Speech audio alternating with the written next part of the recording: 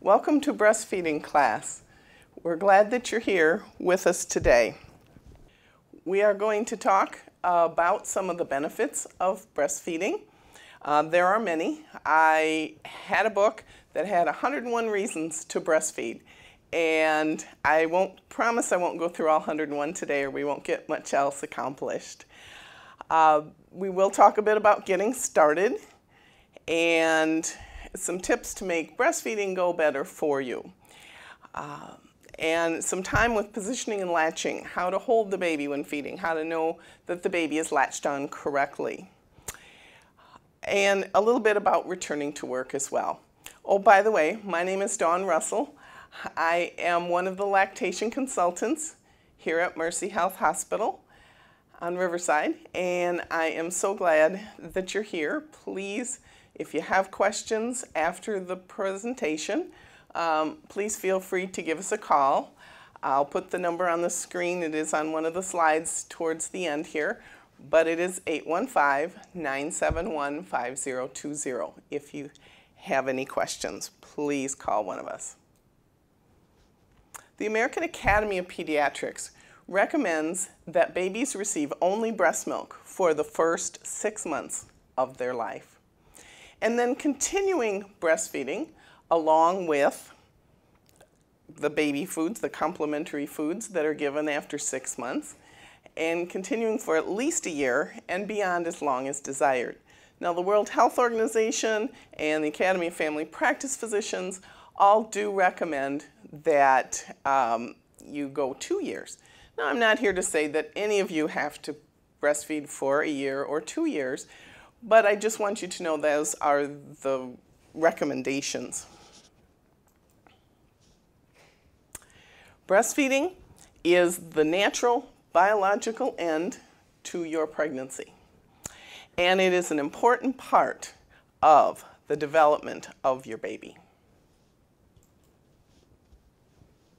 There are many, many benefits, as I mentioned. Um, uh, the antibodies to protect your baby from germs.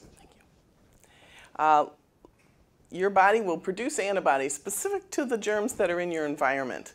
When moms and babies are exposed to germs, then mom is going to put antibodies specific to those germs into her milk. And then the baby's less likely to get sick or as sick as they would if they were not uh, breastfeeding. There's less pneumonia, less ear infections, and less diarrhea in babies who are breastfed. It's easy to digest. It's human milk for human babies. It's the extra nutrition and extra ingredients that they need to grow and to thrive. It promotes bonding. There's nothing like holding and cuddling your baby, ladies, and watching your baby grow and know that you're providing everything that baby needs. It's a pretty incredible experience. The first milk uh, we will talk more about in a bit called colostrum coats and prepares the baby's GI tract, the stomach and the intestines for future feedings. There are some gaps that are between the cells in the infant's stomach and intestines when they're born. And the colostrum goes in and literally coats all those openings. And that's why there's less allergies in babies who are breastfed because those uh, that coating keeps any allergens from getting in there. There is less tooth decay in babies who are breastfed. Uh, even though they don't have teeth yet, they're building good, strong teeth when they're breastfeeding. Uh, there is a significantly less chance of sudden infant death syndrome, which is a very scary thing. Sudden infant death syndrome um, occurs at a much, much lower rate in babies who are breastfed than those who are fed formula. We still don't really know what causes sudden infant death syndrome, but there certainly seems to be some kind of a connection um, to, you know, there's other things we're going to ask you to do. The doctors are going to recommend that you put your baby on the back to sleep and things like that, but breastfeeding is also one of the things to prevent SIDS. Also, we guarantee you a smarter child. Now, I'm not telling you you're going to have an honor roll student. I can't promise that. But I will tell you that your child will have a higher IQ than if they're fed formula. It protects babies from allergies, as I just mentioned, asthma, and those kids who do get asthma tend to have a milder case of it. Um, obesity is less common in babies who are breastfed, and that's because babies who are breastfed will stop when they're full. It's so much easier to overfeed with a bottle than it is at, you can't overfeed at the breast. Uh, so babies learn to stop when they're full, which is something I could have learned as a younger person, um, and I would be thinner as well. Um, there's less diabetes. Uh, in babies who are breastfed, less arthritis, less childhood cancers, and several intestinal diseases. The breast milk has probiotics and a lot of different immune support, not just the antibodies. There's just tons of different things in the milk that will help babies have a stronger immune system and be much less likely to get sick. And the bowel movements, this is a dad favorite, um, do not have a bad smell when the baby's only getting breast milk. Um, moms like that too, of course. There's benefits to moms to breastfeeding. Um, it's convenient and easy to do once you get the hang of it. Now, um, there are sometimes some challenges uh, that go along with breastfeeding, but we are here to help you and support you and there's answers to almost everything out there. If you're having some challenges, please let us know. But once you get past, the first couple weeks tend to be the hardest part of breastfeeding. In the first couple weeks, you'll find that um, it gets so much easier after that. Uh, it helps you lose the weight you gained during your pregnancy because when you are breastfeeding, your body's making milk and that's burning calories just by making milk. You can burn upwards of four or 500 calories every day just making milk, doing nothing else. It decreases the vaginal bleeding that you do after your babies are born. You're less likely to have a lot of bleeding. So if you're already anemic, you definitely um, will be have, get a lot of benefit from breastfeeding because you won't do as much bleeding to lose any more blood. It's got to do with the hormones. Saves money, another dad favorite, the milk is free. Um, everybody likes free, can't you imagine? Um, formula is extremely expensive. We are talking anywhere from uh, four or five thousand dollars upwards of ten thousand dollars to feed formula to a newborn for a year. Um, the ten thousand is more the specialty formulas, and the uh, five thousand would six thousand would be standard formula. And if you're not breastfeeding, formula is what's recommended. So you certainly um, can save a lot of money and use that for, for other things. You'll have a healthier baby, so that means that you'll make less trips to the doctor with sick babies and less trips to the pharmacy for medicine for sick babies. Um, there's less of several different types of, of female cancers, uh, particularly breast cancer, ovarian and uterine cancers as well, are less common in babies and moms who breastfeed, excuse me. Uh, there is less high blood pressure even into later life. Um, these are all long-term benefits, less diabetes, particularly type 2 diabetes, um, and less heart disease, again, throughout life. And there's just a lot of self-confidence that comes with being successful with breastfeeding. There are risks of formula, and really formula should be called artificial baby milk. If they called it that, though, I don't think they'd sell very much of it. Uh, formula is a very scientific name when you think about it. Um, I'm not saying formula is bad. It certainly has its place, um, but it's not the same as breast milk. I think a lot of people think uh, breastfeeding formula, it's about the same, and it really is not. Um, there are fewer ingredients. Um, last time I checked, a, a, bottle of formula had about 25 ingredients in it. Uh, and breast milk has over 400 that we know of now, and more are being found right along. So there's definitely not the same thing at all. Every formula manufacturer has had recalls for contaminated formula. And that's been everything from bacteria, viruses, um, metal machine parts, all kinds of things have been found in, in formula. You know, it's a manufactured product.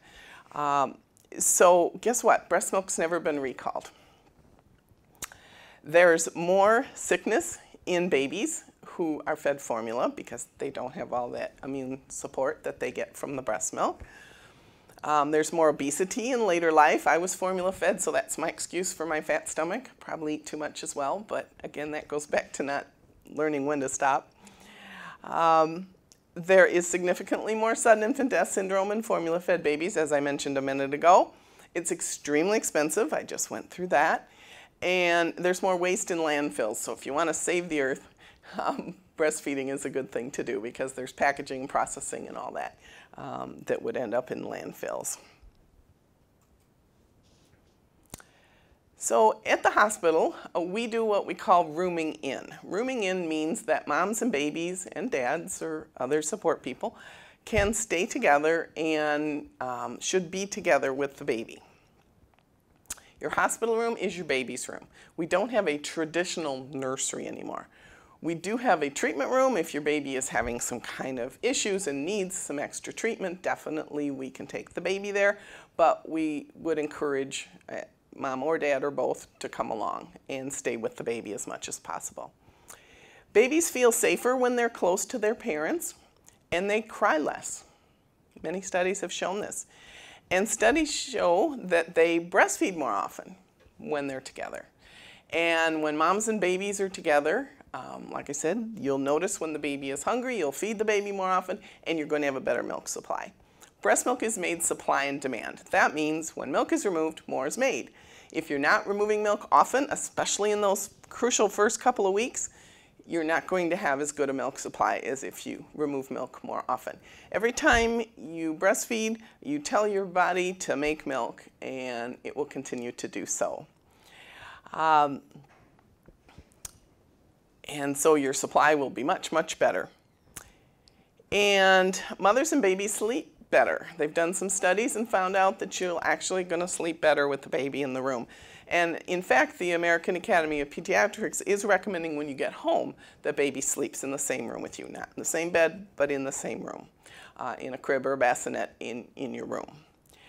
Uh, and the studies show that you're sleeping better, moms, because I think if you wake up and your baby's down the hall in a nursery somewhere, you're going to think, well, I wonder if my baby's okay. I wonder if my baby's crying. I wonder what's going on. But if your baby's right there, you just look over in the bassinet and see the baby and say, oh, baby's asleep, okay, and you roll over and go back to sleep again. I think that's part of why you get better sleep because you're close by. Um, and newborns have this extremely strong sense of smell. Newborns know how mother's skin and milk smells because it smells like the amniotic fluid to her. So being close to mom is very comforting to your baby. So an important thing that we want you to do first thing is to hold your baby's skin to skin as soon as possible after the baby's born and for as long as possible, um, at least until the first feeding occurs, which may take an hour or a little bit more before that actually happens. Um, skin to skin means that your baby, undressed of course, is, and, and mom being undressed or dad, um, you hold the baby between your breasts, turn the baby's head to the side, and you put blankets over the back. You kind of lay back yourself and you just relax and cuddle. Um, this is so important for babies. When babies are skin to skin, they stay warmer. Their blood sugars are more stable. They cry less long term. They breastfeed better. Lots of really good things happen when babies are skin to skin. Um, so it's a really important thing to do and it's fun. Even if it was just fun, it would be good to do. But with all those other medical benefits too, it's really important. Um, so lots and lots of time holding your baby directly on your, on your skin is extremely important for getting a good start with breastfeeding. Not just in the beginning, but it continues. So we would like you to breastfeed as soon as possible after your babies are born. And ideally, if you have a, a natural or vaginal delivery, um, we get that baby skin to skin, that baby will start to feed within the first few minutes or hours. Um, or as soon as possible after the birth. We want to get those babies feeding. Um, the sooner you get started, the more milk you're going to make, and the thing, the better things go. Now, um, most newborns are quite alert when they're born. They're alert for the first two to three hours, maybe, and they're wide awake and they're alert and they're really interested in learning. And there's something about getting baby feeding in that time that actually imprints on their little brains how to do it, and they're going to do better later on. Um, keep the baby with you. We talked about the rooming in and about keeping the baby in your room with you, but keep staying close to the baby is really important. And we also ask that you avoid artificial nipples in the beginning. Artificial nipples are things like pacifiers or baby bottles. And if you're um, using a pacifier in the beginning, it can interfere with how baby learns to breastfeed and hides hunger cues and such. We'll talk about that in a few minutes. Um, you want to feed the baby whenever the baby shows hunger cues. We don't schedule feedings anymore. Uh, truly, for formula fed or breastfed babies, scheduling feedings is kind of old, old thought. Um, babies know when they're hungry and they're going to be able to show you when they're hungry, and we'll talk about how you know that. But you also want to keep a count of feedings because you want to be sure babies are getting 8 to 12 feedings at least every 24 hours. If your baby isn't feeding eight times an hour, or in a day, excuse me, I want you to give us a call. And the nurses can help you latch your babies and learn some different feeding positions. We're going to do some practice uh, with the doll here, um, but you want, when you have an actual baby, you need some help. So uh, feel free to ask the nurses to help you breastfeed and have them show you some different positions because when you know more different kinds of positions, then you're going to um, have some options when you get home. Maybe baby doesn't latch in one position, might latch in a different one, so you want to try to do that. Um, low as many as you can. Now, if you do need a C-section that is not an emergency, um, we can put the baby skin to skin in the first couple of minutes. Usually the Neonatal intensive care doctors and nurses and respiratory therapists take a quick look at the baby, then they'll put the baby on you. Um, most C-sections are done with you very numb, um, but awake. So you can hold that baby. Nothing's going to get your mind off C-section better than having your baby right there to look at and starting that skin-to-skin -skin process. Now, we don't really expect the baby to latch on in the operating room, but occasionally they have. But most of the time, uh, once you get to recovery room is when that first feeding will, will begin. Now, medications that we give, we, not me personally, but that are given during labor, can have a little bit of a impact on how breastfeeding goes in the first couple of days. Um, medications that are given to induce labor, to speed labor, uh, even all the IV fluids that are given while you're in labor can cause a little bit of a delay in babies figuring out how to uh, breastfeed, as epidurals as well. Now, I'm not saying you shouldn't have an epidural. I'm just saying that if you do, sometimes you may need to be a little more patient with your baby and so that your baby will learn um, to breastfeed, you just have to hold them skin to skin, him or her, and lots and lots of patience uh, because the baby will, will eventually feed for you. And that skin-to-skin -skin contact I've been talking about does continue past that first hour that we call the golden hour when babies are on moms. And if, by the way, if for some reason mom's unable to do it, dads can hold baby skin to skin in the first hour as well. And we want both parents to be holding baby skin to skin as much as possible for the first several months of your baby's life.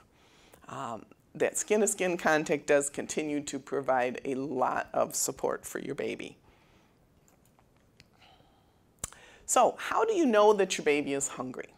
what kind of things are you going to see that is going to tell you that your baby is hungry?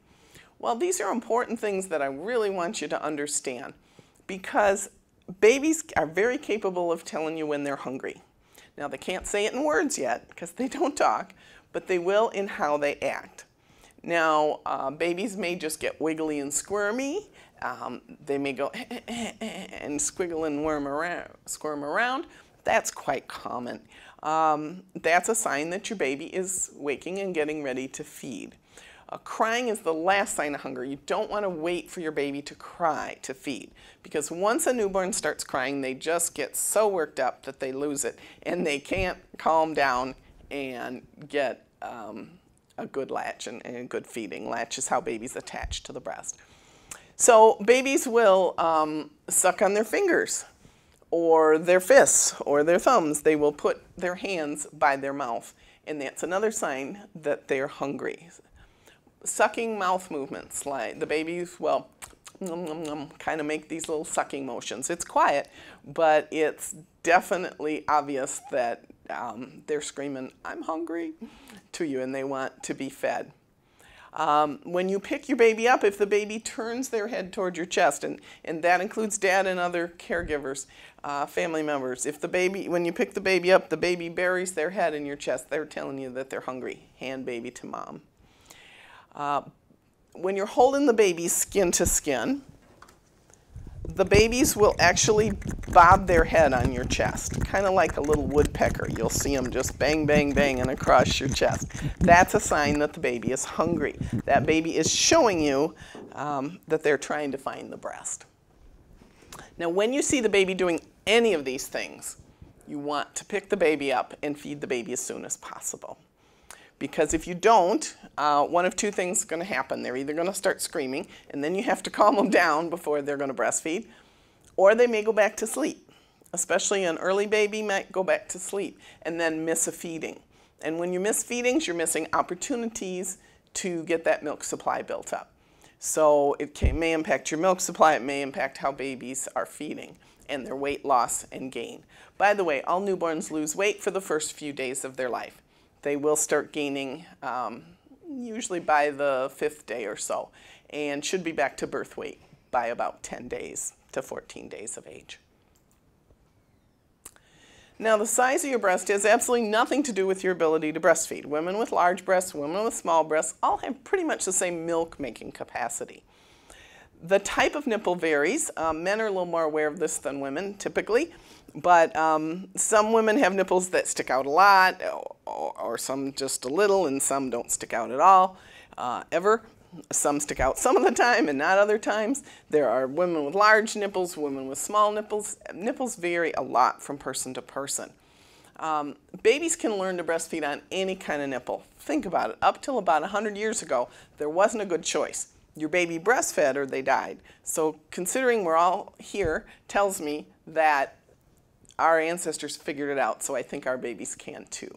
So we'll work with you if you're having any issue with getting the baby to latch. The areola or the areola is the dark area around the nipple, and that is has probably gotten darker if it's your first pregnancy during your pregnancy. Um, that's going to be important when we're talking about latching because the baby doesn't latch to the nipple. The baby needs to latch onto the breast itself um, and onto that areola. And areolas come in different sizes. Some are very small, some are very big. Again, doesn't matter. Just so the baby is latching onto the breast itself and not just the nipple. The milk producing cells are all throughout the breast. They're not blue like this, of course, that's just for the pictures. But um, each of those little things that looks like a grape is a cluster of cells that will make milk the centers are hollow. When they make the milk, the milk goes into the center of each of those. And these things that look like stems, those are ducts, D-U-C-T-S, which is a hollow tube that carries the milk to the nipple openings. And yes, there's more than one. Uh, probably five, seven, nine openings in each breast typically. Um, each one is draining a different portion of the breast.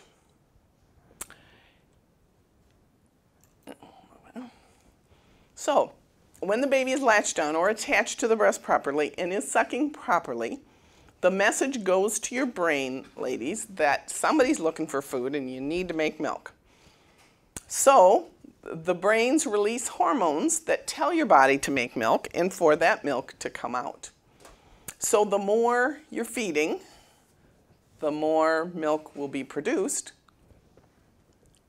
and more milk and more milk and more milk, which is really what you want uh, to improve that. You have a good milk supply once um, the mature milk comes in.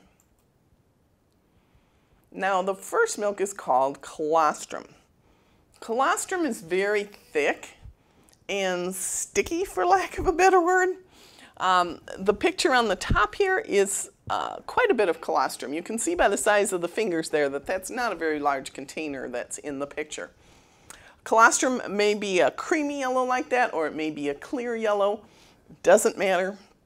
Some women have some leaking of colostrum before the baby's born.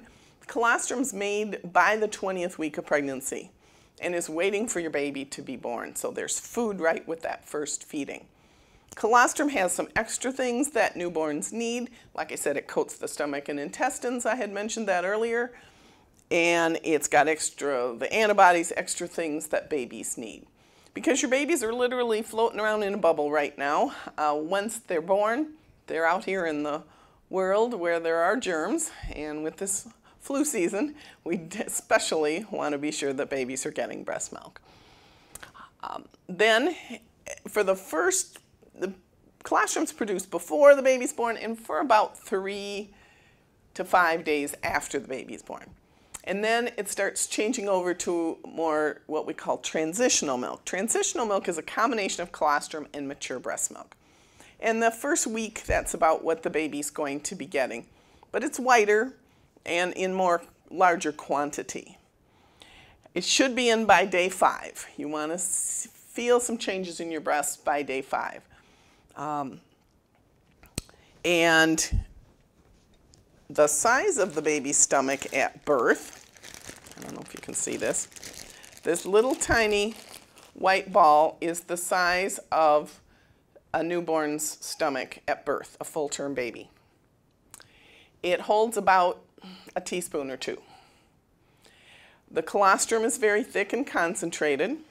So the baby had, but the baby has to suck and suck and suck and suck and suck and suck and swallow. Suck and suck and suck and suck and suck and suck and swallow. So it takes the baby a while to get that teaspoon or two of milk to fill their little stomach at birth. Then as it starts changing over to the mature milk, the transitional milk, then it'll be the size of this pink ping pong ball. And that will hold maybe an ounce, um, up to uh, between a half ounce and an ounce. So that definitely is a big change in just a few days from the little white stomach size to the big pink ball. Somewhere around day 10 to two weeks, the mature milk is in pretty fully and the baby stomach will be the size of this orange egg. And that is, uh, holds maybe two ounces. Uh, and so babies don't need a lot of extra they certainly don't need extra water. There's plenty of water in the breast milk. All the baby needs is breast milk, and it changes just as baby stomachs change. The mature milk is more plentiful, but just as nutritious as the colostrum.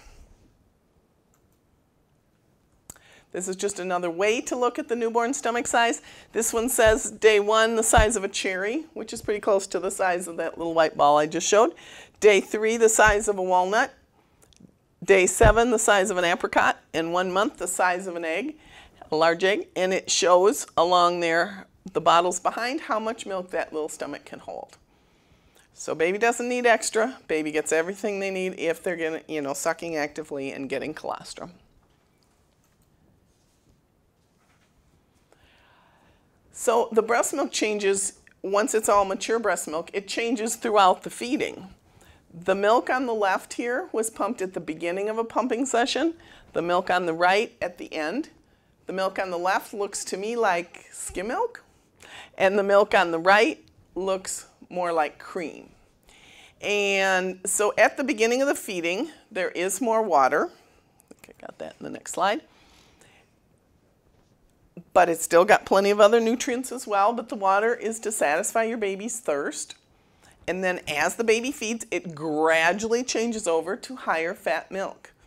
The longer the baby feeds, generally the higher the fats are in the milk. And the fats are important for brain development, they're important for growth, and they're important for staying satisfied between feedings. So we want to be sure that um, the baby feeds as long as possible on the first breast and then burp them and offer the second breast. So feedings that are close together might have higher fats because the fats cling to the inside of the ducts and will be um, in the feedings more uh, if they're close together. You'll have more fats. So as I mentioned earlier, breast milk contains over 400 nutrients, um, and there's more being found right along. So on the right, the column on the right shows, you know, some of the things, the antibodies, the hormones, the antivirals, the anti-allergens, the anti-parasites, the growth factors, the enzymes, the minerals, the vitamins, the fats, and the carbohydrates and proteins and then on the left is what's in formula. Um, but there are probiotics in the milk. You hear a lot about probiotics now. Um, again, part of the immunity stuff that's in that breast milk. Um, there are hormones and growth factors. There's the long chain polyunsaturated fatty acids. That's a mouthful. Those are the fats that are in the milk further into the feeding. Those are very important for brain development, for growth, and for staying satisfied between feedings. So don't let anyone tell you that you stop feeding on one breast after so many minutes and feed on the other breast. Let that baby finish that first breast as much as possible, then burp and offer the second breast. The important thing to understand though is that the breast milk changes. Every feeding, every day, it's going to be different for your baby. It's going to be exactly what your baby needs, exactly when your baby needs it. I call it designer breast milk because every woman makes just what her baby needs. And like I said, every feeding is different. So we are also delaying the baths for our newborns. Um, years ago, we used to, you know, after you saw the baby for a few minutes, rush to the nursery to give the baby a bath. Now we're finding that that can interfere with breastfeeding as well as babies transition to this new life outside of the uterus. So we hold off on the baths at least six hours and up to 24 hours or more if needed. Um, we want to be sure babies are breastfeeding well, have had a couple of good feedings before we do the bath. Now I mentioned earlier that for the first couple hours babies are quite alert. After that, sometimes they get kind of sleepy. And then you're struggling getting the baby to wake up.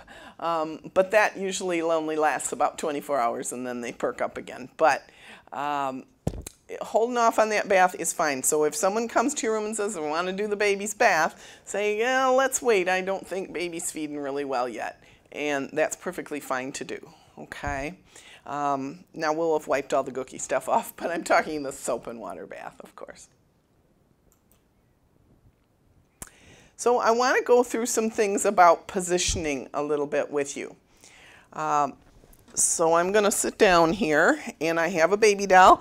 And if any of you have a doll or a stuffed animal or anything like that, um, I would recommend that you pause this and that you go get it because um, doing this along with me may help you um, learn. When we do in-person classes, we have dolls for everybody, and um, we have everybody practice together.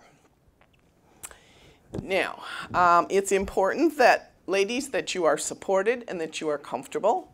Um, you don't want to be hunching over the baby to feed.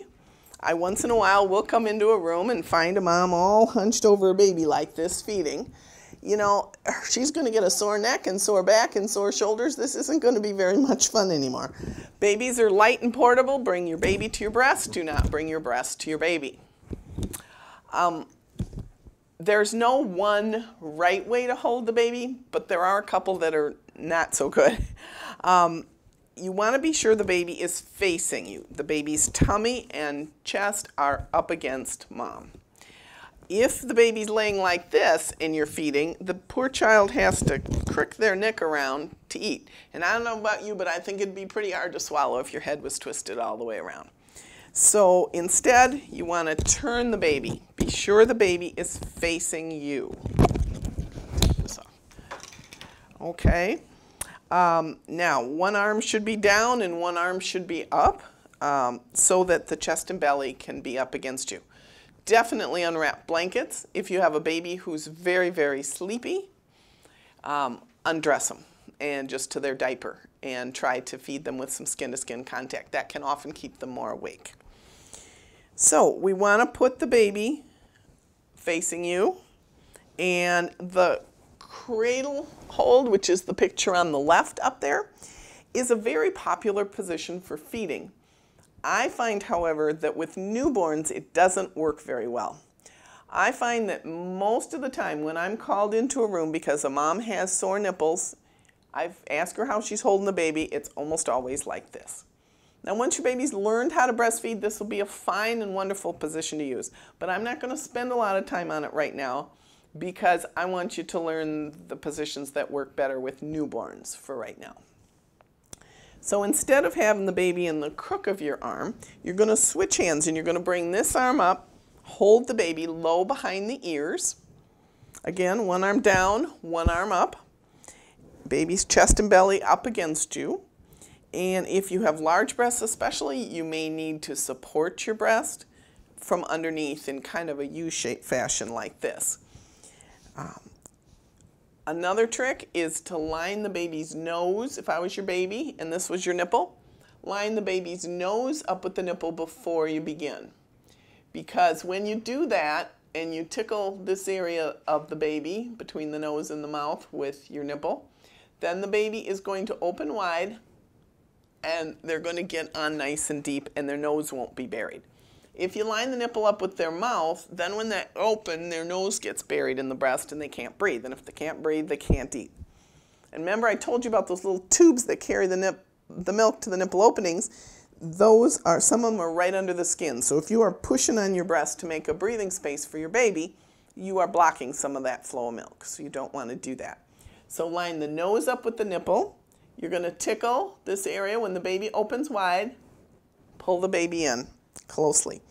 Now I don't want you holding the back of baby's head. If you hold the back of your baby's head, it pushes the nose in the breast and it also makes your baby want to pull back.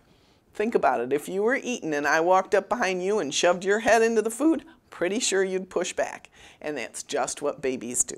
So we want to instead slide your hand down, hold the baby low behind the ears. Now these this baby doll has a pretty floppy head just like your baby will, but you have good support with your fingertips low behind the ears and you don't make the baby feel like they're being pressed onto the breast. Okay? Now, a pillow in your lap, some people use a boppy, there's breastfeeding pillows, something to support your baby's weight. Because even a seven pound baby gets pretty heavy after a while. And some of those early feedings will last 45 minutes or even an hour sometimes. So you want to be sure you have something to support the baby in your lap. Now, one other sign, uh, thing, remember I said that sucking on their fingers is a hunger cue. So if you're trying to get your baby to breastfeed and your baby is sticking their hand in front of their mouths or into their mouth, they can't latch on properly. So this is where having another support person, dad or another support person available, hold that hand for a minute while baby gets latched on, and then you can let go of it. Uh, once ba baby's feeding, then th that hand isn't going to be an issue. The, lower, the hand below the baby usually is pretty good. It's this one here that's going to get in the way for you. So you have seen hunger cues in your baby. You've picked your baby up. You've unwrapped the blankets. Because if baby's all wrapped up and their arms are here, they can't get close enough to get a good deep latch. So we want those arms out of the way. So essentially the baby should be like this. Arms on either side of the breast and chin pressing into the breast for them to latch on properly. So we've lined the nose up to the nipple. We tickle, wait for the wide open mouth. You can move your breast or move your baby. I don't care which pull the baby chin first and then upper lip second and pull the baby in close. Now you have to put some serious pressure on the shoulders and upper back this way. You really need to push um, in order to keep some good support there. And then the baby will start with some rapid sucking and then we'll start doing long, slow draws. And when the baby's jaw is moving up and down and up and down, that's when they're actually moving milk. If they're just doing little quiver sucks, they're not probably getting any milk. So you want to watch for that. The baby's lips should be flared out like a little fish. Top lip and bottom should be uh, flared out A baby's mouth should be very, very wide before you pull the baby in. And their cheek should be puffy. You can see my baby's cheek here is pretty puffy. You want to keep those those cheeks should stay puffy. If they're sunken in or you're hearing clicking or smacking when the baby's feeding, there's some issues we need to help you with, so please give us a call. Um, or call the nurse and ask for some help. So you've tickled, you've waited for the wide open mouth, you've pulled the baby in close, and then you're putting some pressure on the baby's shoulders and upper back. It helps babies feel stable and secure, and it helps them keep feeding well and staying on the breast. Again, the baby is on the breast, not just the nipple. That's how the baby is going to get food. I have a little um, breast here. So baby should be on here, not on the nipple. Pulling on the nipple just hurts and doesn't do anything.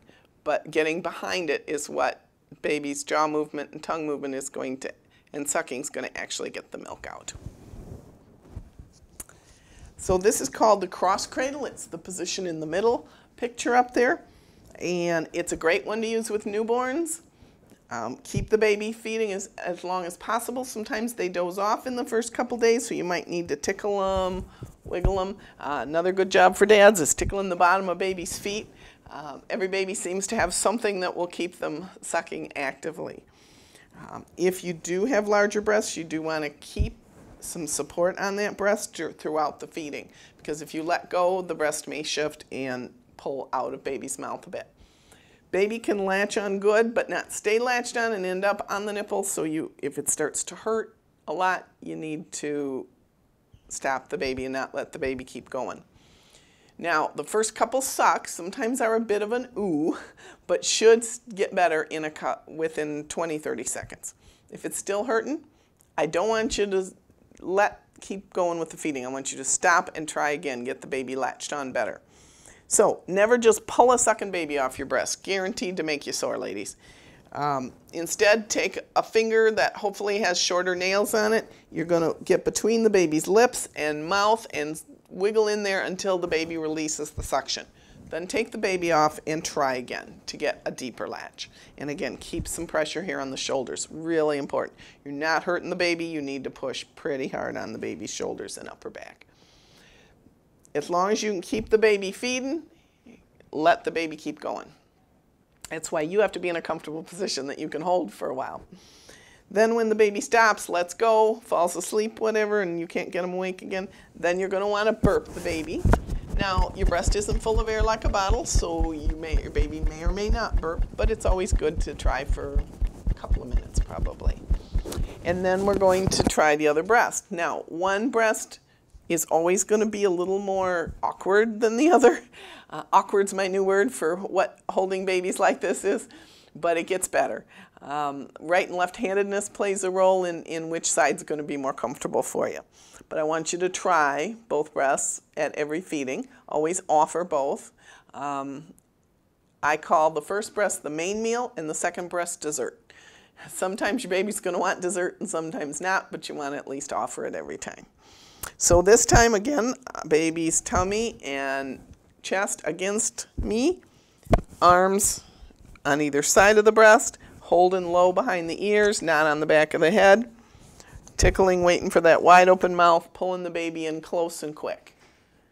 And watching that baby do the long, slow draws. You may even see their ears wiggle when they're sucking properly. It should not be terribly painful though. If it is, please call for help. There might be some issue with the anatomy or something that we should be looking at. So that's called the cross cradle. The picture on the right is the football hold. Football hold's another good one to use. Um, and using different feeding positions throughout the day, in the beginning especially, is going to prevent some soreness. I'd rather prevent soreness than have to treat it. In the football hold, you're holding the baby kind of similar to the cross cradle, but you're going to slide the baby around your side. So you will need some pillows or something next to you to support your baby. And again, an arm on either side, chest and belly up against Tickle, wait for the wide open mouth, pull the baby in close and quick. And you can sometimes see the baby feeding a little better in this position. Sometimes moms who have C-sections find this a little more comfortable because there's no weight of the baby on their stomach. Um, this is a great way to feed newborns. They often will latch nicely in this position, um, again called the football or the clutch hold. And then when the baby stops, you can't get the baby to feed anymore, you're going to burp again, and you're going to offer the other breast. So again, now you're going to have to put some things, uh, pillows or something to support baby on the side. If you're using a boppy, you want to rotate the boppy around so that the opening is on the side opposite where baby is so there's good support for baby's legs back here. You may need a pillow behind your back to move you a little further forward so there are room, if you have a long baby, for those feet back there. So again, holding low behind the ears and baby unwrapped. One arm down, one arm up. Tickle, wait for the wide open mouth, pull the baby in close and quick for feeding. This is football hold. Now, I have some news. You don't have to sit up to breastfeed. How about that? You can actually lay down when you're breastfeeding. So that's another great way, especially in the beginning. Um, honestly, ladies, when you have a, a, normal vaginal delivery, your bottom may be a little sore and sitting up may not be the most comfortable position for you. So some of these laying down positions are great. Um, the laid back is my favorite. That's the one shown here. And it starts with the baby being skin to skin with you. Again, pretend that we're not wearing clothes. Um, with the baby's head in the middle and you just cuddle and put a blanket over the baby and just cuddle that baby. If your baby is not latching well, I definitely recommend you try this laid back breastfeeding position. Um, you just hold the baby for a while and it might take 45 minutes or an hour for the baby to latch on. But the baby at some point will start banging their head and will kind of start lunging. So you have to hold the baby under the arms, a little easier than having to try and figure out those other holds. And when the baby starts lunging towards one breast or another, you just kind of support them over there. And what the baby's going to do is shake their head. Your baby can lift their head, but not for very long because it's pretty large for the size of their body. But they um, can lift it just a little bit. And when you're laying back and they figure out, they're feeling with their face, where is, again, if I was your baby and this is your nipple, they're feeling for the nipple. When they figure out where it is, they lift their head, they come down, and they get a good deep latch. Many times when babies aren't feeding well, this is the best thing to try. So I definitely want you to um, consider using this position early on. And you're laying, your head should be up, oh, about 30 degrees maybe.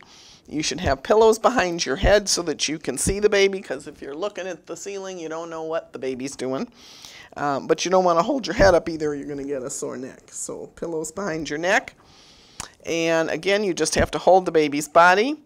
If you find when the baby latches on that their nose is buried, just putting a little pressure on the shoulder will pop that nose right out. Um, and then the baby will be able to breathe. So you want to be sure the baby's breathing when they're eating. And you want to watch for sucking and you want to hear swallowing.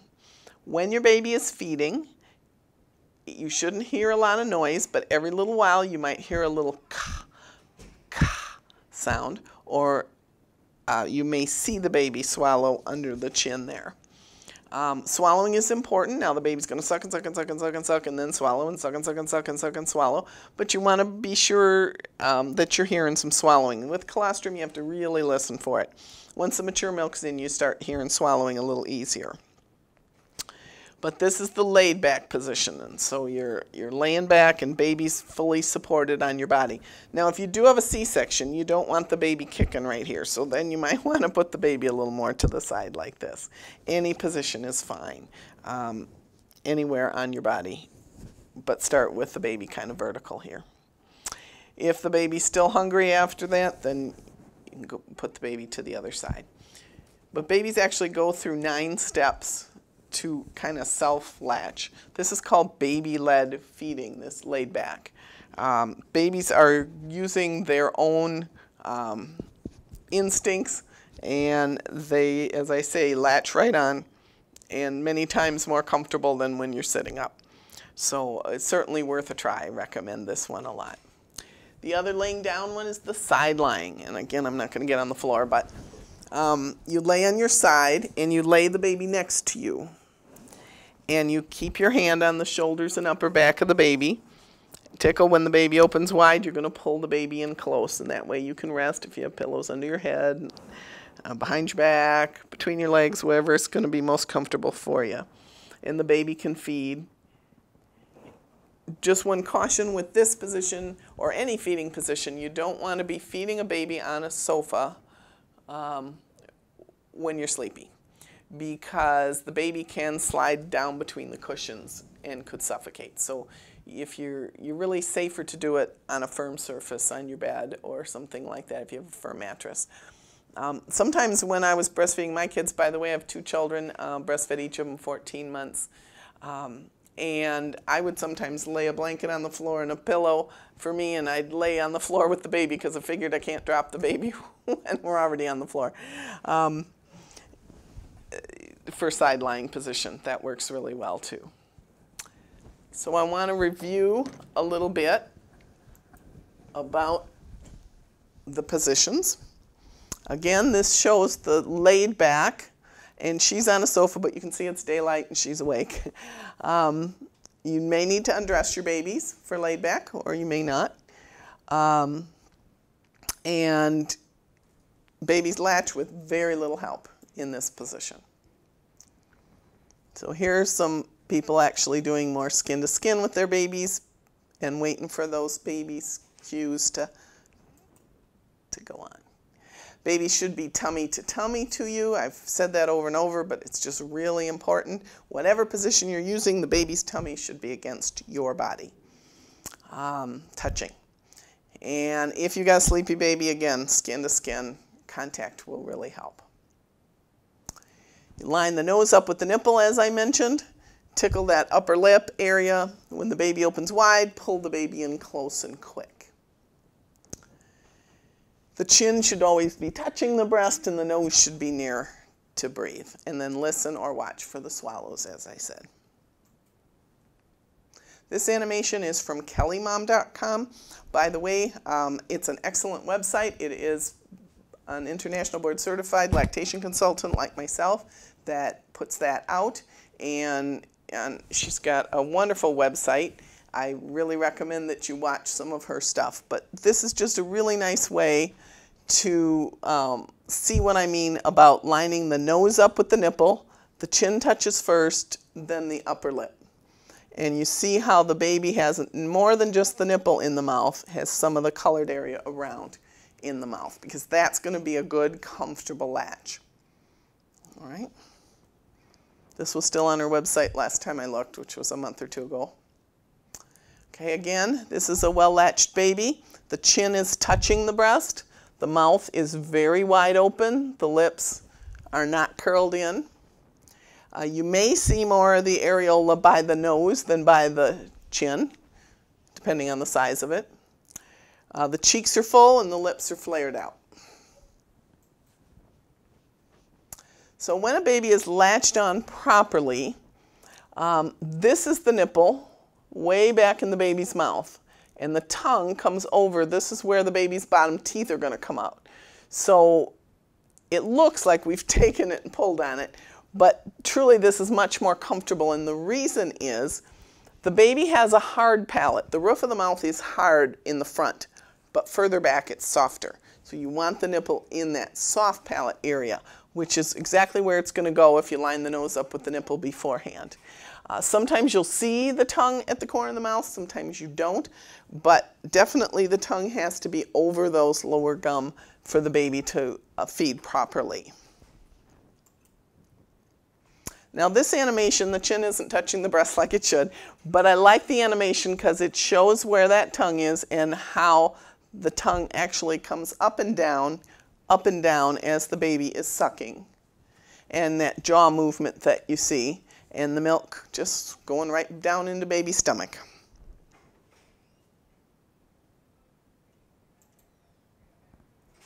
Okay. Hand expression is something I want to talk about next. Hand expression means getting milk out of the breast using your hands instead of a pump or a baby. Hand expression is useful in a lot of different situations. Sometimes we will have you use that here in the hospital if your baby isn't latching very well. Now, a full term baby can, um, we give them 24 hours to get a good latch. We give them a little more time. If your baby's 39, 40 weeks, we're going to be kind of patient with your baby as your baby figures this out. If your baby's early, like a 37 weeks or 36 weeks, you definitely want to have, um, you know, within 12 hours see that baby feeding. Otherwise, you know, we're going to start having you express some milk. Now, um, to get milk out of the breast, especially colostrum, because colostrum's thicker and a little hard to get out with a breast pump. We may use one, but don't expect to get a whole lot in the first couple days with a breast pump.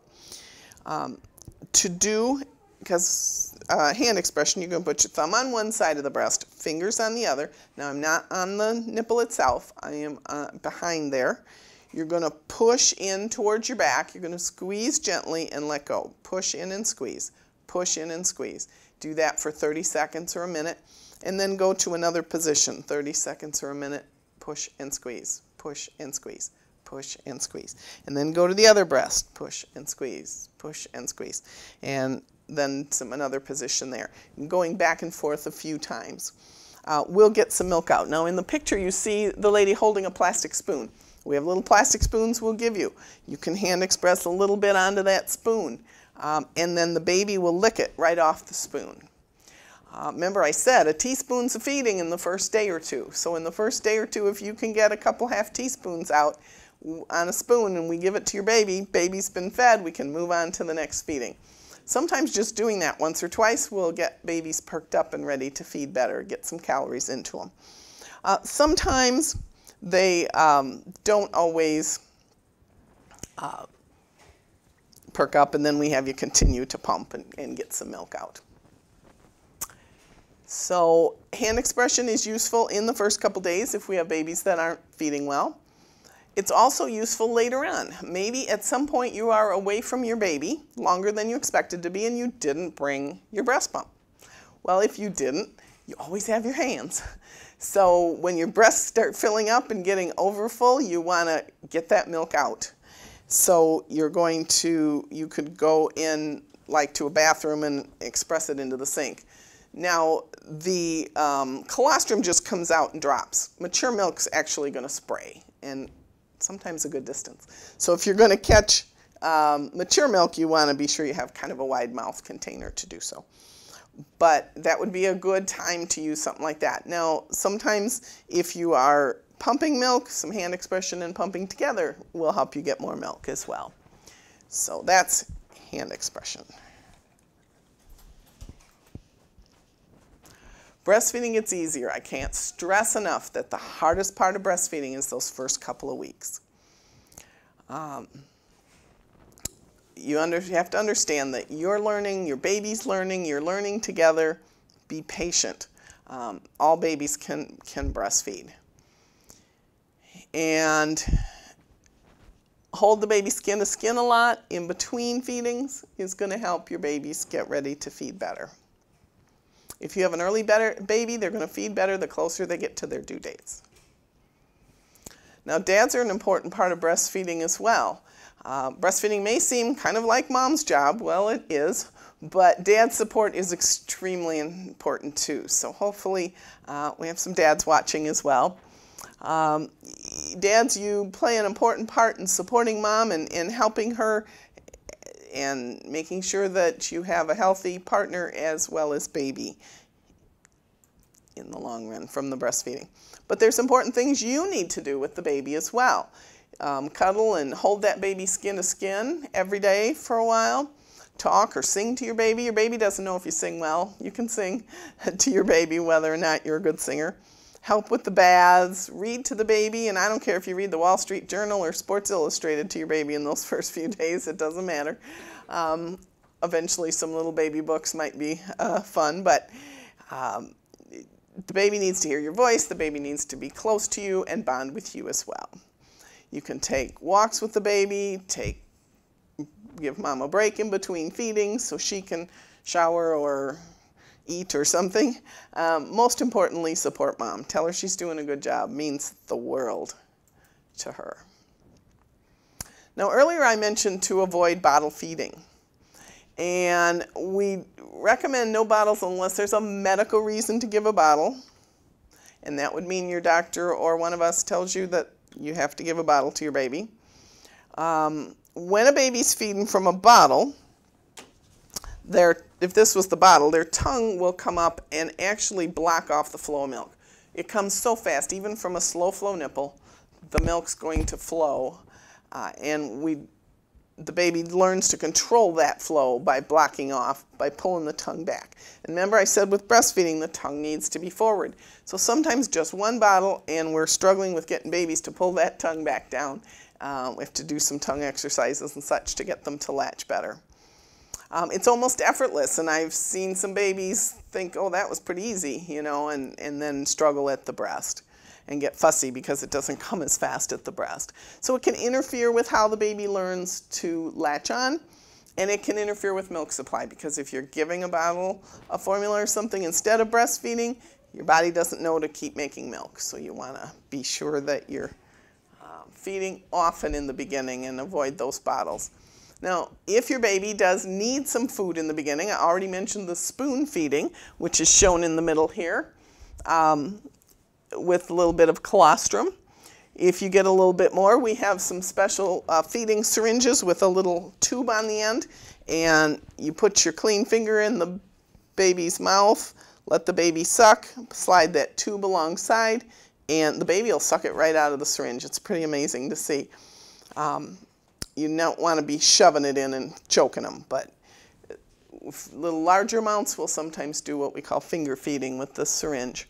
Um, cup feeding is another option. Now, a lot of people look at me like I have two heads when I say you can cup feed a newborn, but you really can. Um, parts of the world do a lot of cup feeding of new babies. When cup feeding, you want to be sure that you do have baby's arms swaddled down because babies swing their arms around, and if they hit that cup, it's going to go flying and it's going to spill, and if it's got breast milk in it, you are not going to be happy. So you want to swaddle their arms down, sit them upright, hold the cup to their lower lip, and babies will bring their tongues out and just kind of lap it right out of there. It's pretty amazing uh, to see a baby cup feed, but they can. Um, YouTube has a couple good videos. YouTube, go on YouTube and search cup feeding newborn and you'll see some good ones. I also said to avoid pacifiers in the first four weeks. So you want to um, have the baby learning at the breast. All the sucking should be done at the breast. And remember, sucking is a hunger cue. So if your baby is sucking away on a pacifier, they're telling you they're hungry and they need to eat. Um, they're growing at an amazing rate and they need that food at least 8 to 12 times every day. Um, and it, so it can cause a lower milk supply because you might miss some feedings while baby's sucking away on the pacifier and again can contribute to latch problems because it, it doesn't feel like the nipple to the baby.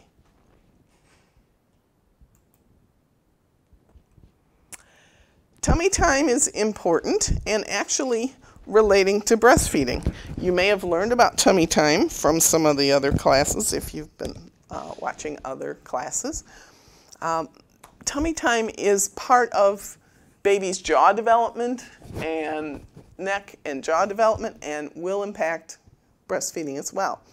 You want to start doing some tummy time with your baby right from the start, right from the first week. Um, now, when you're laying back and you have your baby skin to skin on you, you're actually doing some kind of starting of tummy time that way. You want to keep baby off the back of the head because they sleep on the backs of their heads and some babies are getting flat heads. So one reason to do tummy time is to get them off the back of their heads, hold them up or put them on their tummies when you're awake and watching. Um, most babies don't like it at first. They're going to get fussy, but eventually will learn to push themselves up. And you want to do that only when you're awake and watching them. And aim for 30 minutes a day. You won't get that in the first couple weeks, but you hopefully you'll get to that point. And it's going to improve your baby's motor skills, strength, their shoulders, their arms when they learn to push themselves up and hold that neck up. And it's got to do with their jaw development as well. So get down on the floor with the baby. She's got a little mirror, you know, rattles on either side of the baby so you get the baby to turn their head when they're down there. Really important. So the next thing I want to talk about is how do you know the baby is getting enough milk? This is a common worry amongst a lot of the moms that I've um, worked with because you can't see how much milk the baby's getting. There are no ounce markers on your breast telling how much milk the baby's getting. And in the colostrum phase, your breasts aren't even going to feel any different before and after feedings because remember, a teaspoon you're not going to feel in your whole breast. But once the mature milk's in and baby's taking an ounce or more, um, your breast should feel firm before feedings and softer after. That's one of the ways you're going to know. Um, in the beginning, we go by watching the baby's wet and poopy diapers because if nothing goes in, nothing comes out the other end. And the colostrum has a bit of a laxative effect. So when babies are having lots of poops, I'm really happy because I know that they've gotten some colostrum. In the first 24 hours, we want to see your baby have at least one wet and at least one bowel movement in the first 24 hours. They can have more, but that's a minimum. Second day, we want to see two wets and two poops in the second 24 hours. Third day, we want to see three wets and three poopy diapers. Fourth day, we want to see four wets and four poopy diapers. Um, by the fifth day, ideally your mature milk will be in, your breasts will be feeling full, warm, or heavy. That's one of the ways you know the milk's there, and you're going to start hearing babies swallowing a whole lot more. Um, and then five or six wets and three to four bowel movements may continue. Now, some babies have bowel movements after every feeding, and they'll have eight or ten in a day. Some will have three or four. But you see there's not a single day where there's been no bowel movements on this list so far. On day six to six weeks or so, six to eight heavy wet diapers. Now, those first wet diapers in the beginning aren't going to be really heavy because the colostrum doesn't have a lot of water in it. But once the mature milk's in and baby's getting more liquids, then they're going to have heavier wet diapers, and there'll be no doubt in your mind that they're wet. A lot of the disposable diapers have a little yellow line that will turn to blue when the baby is wet. Um, so that's a good way in the beginning, especially and continuing the bowel movements every day till around five or six weeks. And in that, at that point, some babies will have fewer bowel movements. I am okay with a six-week-old baby not having a bowel movement every day. I'm not okay with a six-day-old baby not having a bowel movement because they should still be having them. Um, if your baby's not having poopy diapers, I want you to call us. Okay? But like I said, after six weeks, fewer bowel movements sometimes will occur. Not have one every day. They just absorb all of the food. Oops, what they do? Uh oh. There we go. Okay. Now, as far as your baby's uh, poopy diapers, they're going to change colors. The first day, they're going to be black or two, black and actually like tar and really, really sticky. This is called meconium. These are first bowel movements that all babies have. Um, the second or third day, it should start changing to kind of a greenish color. Uh, from the fifth day on should be yellow, runny, and what we call seedy, meaning lumpy. This looks like diarrhea. If you have family members who have only fed formula to their babies and they see your baby's diapers, they're going to tell you your baby has diarrhea. This is not diarrhea. This is normal breast milk stool. When you see yellow, runny, seedy poop coming out of your baby, you can be cheering because you know that baby's getting breast milk, mature milk at that point.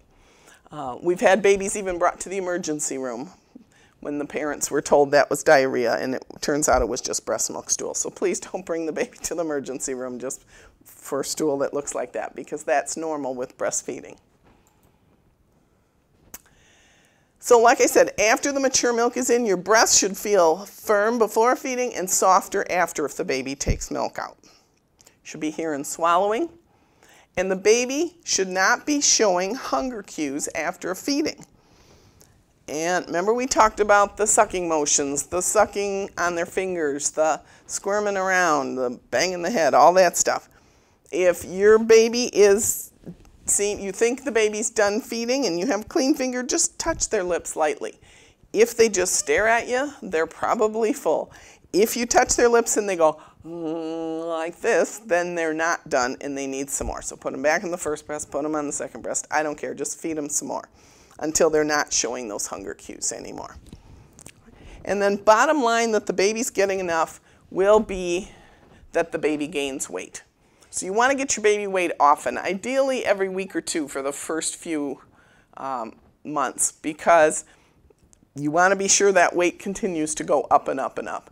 Um, that's how you know bottom line weight gain means your baby's getting enough food. Call us if you can't wake your baby or keep your baby awake for the 8 to 12 times of feedings every day. If your baby loses more than 10% of their birth weight, if the baby is not back to birth weight by about 10 days to 14, if your baby is not having enough wet and dirty diapers as we just talked about, or your baby or you have breast or nipple pain, please give us a call for any of those reasons or any other concerns that you have. We're here during the day. Uh, leave a message. If we don't an answer, we'll call you back as soon as we can. Now, um, the second night, remember I told you that the first day babies get quite sleepy. So often the first night they sleep a bit. Second night tends to not be like that. So I like to warn people that um, your baby might be sleepy the first night. Now, once in a while, we have babies who are awake all night the first night, but um, usually it's the second night where they just want to seem to feed and feed and feed and feed. And I used to work, um, I've been a nurse for 44 years. I used to work nights on mom baby. And I had many moms say to me, oh, I must not have enough milk because the baby just keeps eating and eating and eating and eating, so there must not be any milk there. Um, and then they ask for formula. Turns out this is a normal developmental process. Your baby, by about 24 hours, is starting to figure out they're separate from you and they miss you. And so they know when they're eating, you're going to be holding them. Uh, so they're going to get fussy and they're going to seem to want to eat constantly. And part of it is because of the first night. Maybe they didn't get all 8 to 12 feedings in in the first 24 hours, so they make up for it by eating like constantly. And it seems to be more at night for some reason. Um, babies don't know their nights and days. Up until they're born, they can't see a difference. So um, you want to hold the baby a lot. You want to um, feed the baby frequently. So I encourage um, that dad or an, another support person stay the night with you in the hospital, for sure the second night, but all the nights if you can. Um, most times with a regular vaginal delivery, you're out of the hospital in two days, for C-section usually three days. Um, and what I recommend is tag teaming it. So mom, you hold the baby and feed the baby and feed the baby and feed the baby while dad goes to sleep for a little while. When you can't keep your eyes open anymore, you wake him, hand him the baby. He holds the baby, rocks the baby, maybe does some skin to skin, walks with the baby while you try to sleep for a couple of hours. And when that doesn't work anymore, he wakes you and hands you the baby and he goes back to sleep. This tag teaming back and forth at least gets everybody some sleep. Otherwise, nobody gets any sleep. Okay? So this is called cluster feeding and it occurs more on the second night and the third night and sometimes the fourth night. Um, and it's worse if you've had lots and lots of visitors. Now, currently we're limiting visitors, but um, too many visitors interfere with you getting your many feedings in during the day. The more you feed during the day, the sooner the baby will start doing some sleeping at night.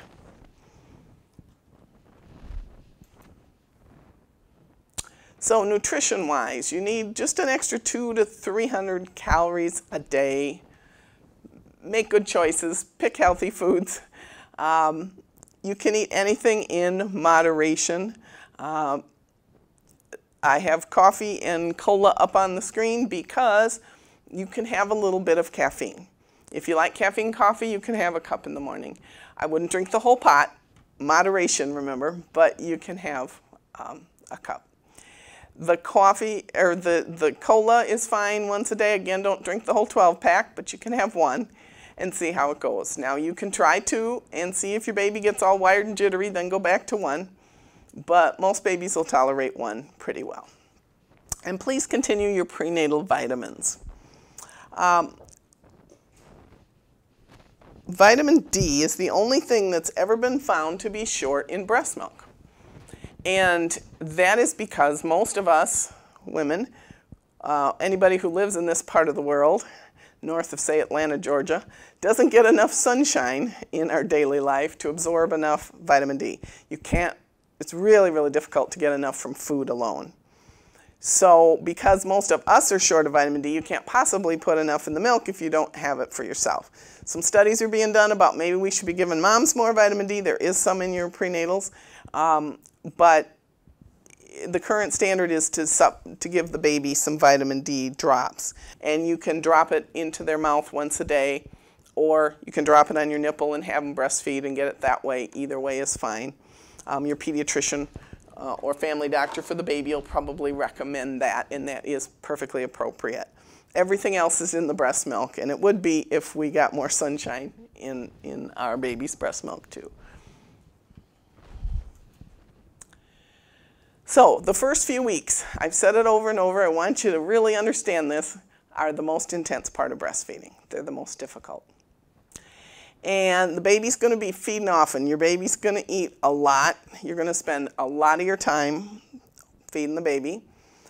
Um, when I come to the room, if I see you the day you go home from the hospital, if you're here, um, I will probably uh, tell you to hold the baby a lot, feed the baby a lot, eat food yourself, and get as much rest as you can. If you do nothing else in the first couple weeks, you're doing amazing things for the breastfeeding. Um, accept help from others. If you have people offering to get you some meals or do some laundry for you, things like that, errands for you, it's awesome. Uh, rest as literally as much as you can. Sleep when the baby is sleeping because you're going to be up at night. Your baby is growing at such a fast rate. Your baby's going to double their birth weight usually by about five to six months and triple it by a year. That's an amazing amount of growth when you think about it. That's why they need to eat so often. I want to uh, read you some of the laws that relate to breastfeeding. In Illinois, I've got Illinois laws. I'm sorry I don't have the Wisconsin ones on me, but they're pretty similar. It's, uh, the law says that a mother may breastfeed her baby in any location, public or private, where the mother is otherwise authorized to be, irrespective of whether the nipple of the mother's breast is uncovered during or incidental to breastfeeding. In other words, no one can kick you out of anywhere for breastfeeding your baby. If you are, you know, once all the restrictions are lifted, if you're in the middle of a shopping mall, you can sit down and feed your baby. Um, you can feed your baby in a restaurant, things like that. Um, they cannot kick you out of anywhere for breastfeeding, so you need to be aware of that. And in Illinois, any mother nursing her child shall, upon request, be excused from jury service. Not much gets you out of jury duty anymore, but if you're breastfeeding and they call you to jury duty, you just give them a call and say, by the way, I'm breastfeeding, and they'll say, okay, we'll call you later. They just don't want babies in the courtroom. That's fine. Let's just stay home. Last time I was there, there must have been 200 people in that room. They'll be fine without you. Then in Illinois, the law for break time for nursing mothers states that an employer shall provide reasonable break time each day to an employee who needs to express breast milk for her nursing infant child each time the employee has need to express milk for one year after the child's birth. The break time may run along with any other break time already provided to the employee. An employer may not reduce an employee's compensation for the time used for the purpose of expressing milk or nursing a baby. An employer shall provide reasonable break time as needed by the employee unless to do so would create an undue hardship. And they have to actually apply um, to say that the there it's really going to affect the workflow and pretty much only gets granted to people from really small employers like maybe two or three or something where you couldn't be away. So most of the time, most jobs are going to, to give you time and a place. Now that was uh, from July of 2018, that law was updated. And I think they read the national law because you'll hear some familiar things. As of 2010, uh, in the whole United States, employers are required to provide reasonable break time for an employee to express breast milk for her nursing child for one year after the child's birth, each time such employee has the need to express the milk. Employers are also required to provide a place other than a bathroom that is shielded from view and free from intrusion from coworkers and the public, which may be used by the employee to express breast milk. I love how that's worded. Um, and by the way, a bathroom is not an appropriate place to pump milk. Think about it. Would you want your meals prepared in a public bathroom? Ew, probably not. So um, you don't want to be preparing your baby's meals there either. So a room with an outlet for your breast pump, most electric pumps will need to be plugged in. Um, some run on batteries, but some of the batteries uh, do wear down pretty quickly, so if you have an opportunity to plug in your breast pump, you always want to do that. Um, so those are the laws. Now I want you to start practicing with your pump about six weeks before you're going back to work. Unless you're going back to work in six weeks, then four weeks is good. Um, pumping is different than breastfeeding. You're going to be needing to learn to relax to get that pump um, to work for you. Um, it's easy to relax when you're cuddling your baby. It's hard to relax with a machine attached to your chest. So it's something that's going to take, it's a learning curve for some people. Some people have to take a little time to, to figure this out. The more you relax when you pump, the more that comes out. So I do definitely recommend that like once a day for the last four to six weeks before you go back to work if you're going to work or school or something where you're going to be away from the baby, that you sit down with your pump once every morning and pump for 20 minutes if you're pumping both breasts at the same time. You'll get a little bit of milk at first. A lot of times you don't get much. I have gotten some panicked phone calls from moms I just pumped for the first time, I only got a half ounce. Oh my gosh, that's all the baby's getting. No. What the pump gets is not what the baby's getting, okay? A well-feeding baby will almost always get more milk than a pump. And if the baby's growing and, and doing well, baby's getting more than that. Uh, but like I said, it's that learning to relax and, and enough that your, your pump will work for you. Um, a number one key that I always tell moms about pumping is don't just stare at the things. You put those pieces on your breast and you just sit there and look at them. When you're doing that, this little voice in your head is going to say, where's the milk? Where's the milk? And because it doesn't come out right away. And you're going to get all tensed up. And the more tense you get, the less milk that comes out. So look away. Um, watch TV. Listen to music. Do something besides staring at these things. If you find you can't stop looking, put something over you to cover it so you can't look. Um, really makes a difference in how much milk you get out. So relaxing, listening to music. Like I said, um, there was a study done recently where they had a group of moms listen to music, another group not listen to music. Those who listened to music got more milk and it was higher in fat than the moms who weren't listening to music. Well, that's easy. Doesn't cost anything if you have music on your phone, just play it and see if that helps you get more milk out too. Okay, so for some milk storage tips, I want to go through a few of those with you.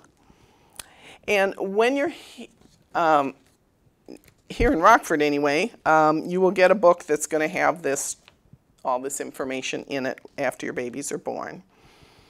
Um, mom, breast milk that is freshly pumped or expressed is good at room temperature up to about four hours. So if for some reason you're going to use it right away, you don't even need to put it in the refrigerator. You can just leave it in the bottle on the counter, whatever. It's freshly pumped milk is good in the refrigerator up to four days. It's good in the freezer for six months or up to 12 months if you're using a deep freeze, like a chest or an upright that's only a freezer. But ideally, you'd want to use it within six months if possible.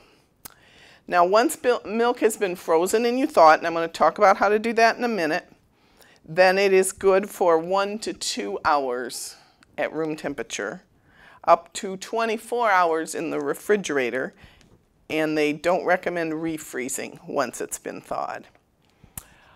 And then once a baby has been drinking from a bottle of breast milk or formula, if after two hours the baby has not finished it, the rest must be thrown away because the baby's saliva mixes with it and it can get contaminated. So you want to be sure that your baby drinks it within two hours. So uh, the hint to that is don't put too much in the bottle.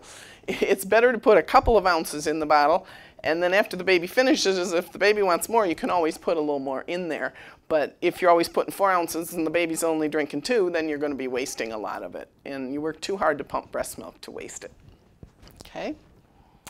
At work, you want to put the milk into a cooler with ice packs or into a refrigerator.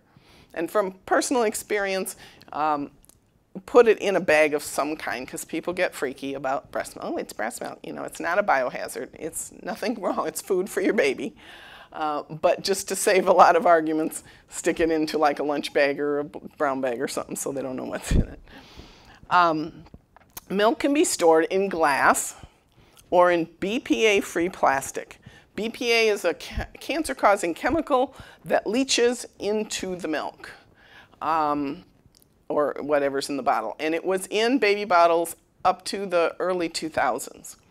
So I don't recommend buying baby bottles like off Craigslist or at a garage sale or something like that because you might get some of those older bottles that are, have BPA in them. Anything you buy now is very clearly going to say on the labels BPA free. Um, and all the breast pump parts are BPA free as well. Milk storage bags are okay to use as well. They're little, like, specially made for milk, have a little Ziplocky kind of top on them. You don't want to, um, it's to just throw that in the fridge or freezer. I would recommend that you put several small bags in a bigger Ziploc bag to put in the freezer. One, because an ounce or two may get pushed to the back of the freezer and you may not find it. Or um, if there's a pinhole in the packaging, or in your, um, in your milk bag, then the packaging bacteria in the food in the freezer might get into your baby's milk. So you want to double bag those uh, milk storage bags. Always date any milk you put in the refrigerator or freezer so you know how long it's been there so that you can um, compare it to what the guidelines are. Okay. So when you're pumping, you want to pump after or between feedings. And by the way, your breasts are never truly empty, okay? You're making milk while it's being removed. So I've had lots of moms say, well, I don't know when to pump because the baby might wake up and need to eat. It's okay. If you pump some milk out and the baby wakes up, there's already more milk there for the baby, okay? When at work, ideally, you'd pump every three hours, and I do understand that not all work situations are going to uh, accommodate that, but three to four hours um, would be the, the recommendations. And then be sure you're breastfeeding often when you are home, evenings, weekends, whatever you're not at work. Um, because many women do have a little dip in their supply when they go back to work. So you want to be sure that you're um, breastfeeding frequently at home to kind of keep that up. Medical insurance should cover a breast pump for you, a personal use breast pump. Um, some insurances will let you get it before the babies are born. Others make you wait till your baby's born. Um, some make you go through certain durable medical equipment suppliers. Um, but contact your insurance about that or we have some information too in the office. These are five different types of breast pumps. I'm not supporting or endorsing any particular pump. But I like these pumps because they have the ability to be usable for any any woman. Some breast pumps come with only one of this, this we call the flange, the shield that goes on the breast. And it has to fit your nipple size, not your breast size, but your nipple size. And if it fits, the ones that only come in one size, you're fine. But if it doesn't, it's a totally useless piece of equipment. All five of these companies make different size pieces that you can switch out should you need to do so. In fact, a couple of them come with two sizes initially. Um, because not everyone's the same size nipple. So this is an Ardo. We don't see a whole lot of Ardos, but it's a good pump. This is a Hygieia. This one's Medela. That's a Spectra. And this is the um, Ameda Maya pump. Uh, all good pumps for individual use.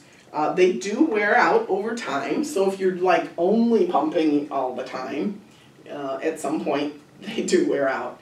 Uh, so for a future child, you might need a different one. Um, but these are all good pumps, and uh, again, some insurances give you choices of what kind you can get, others do not.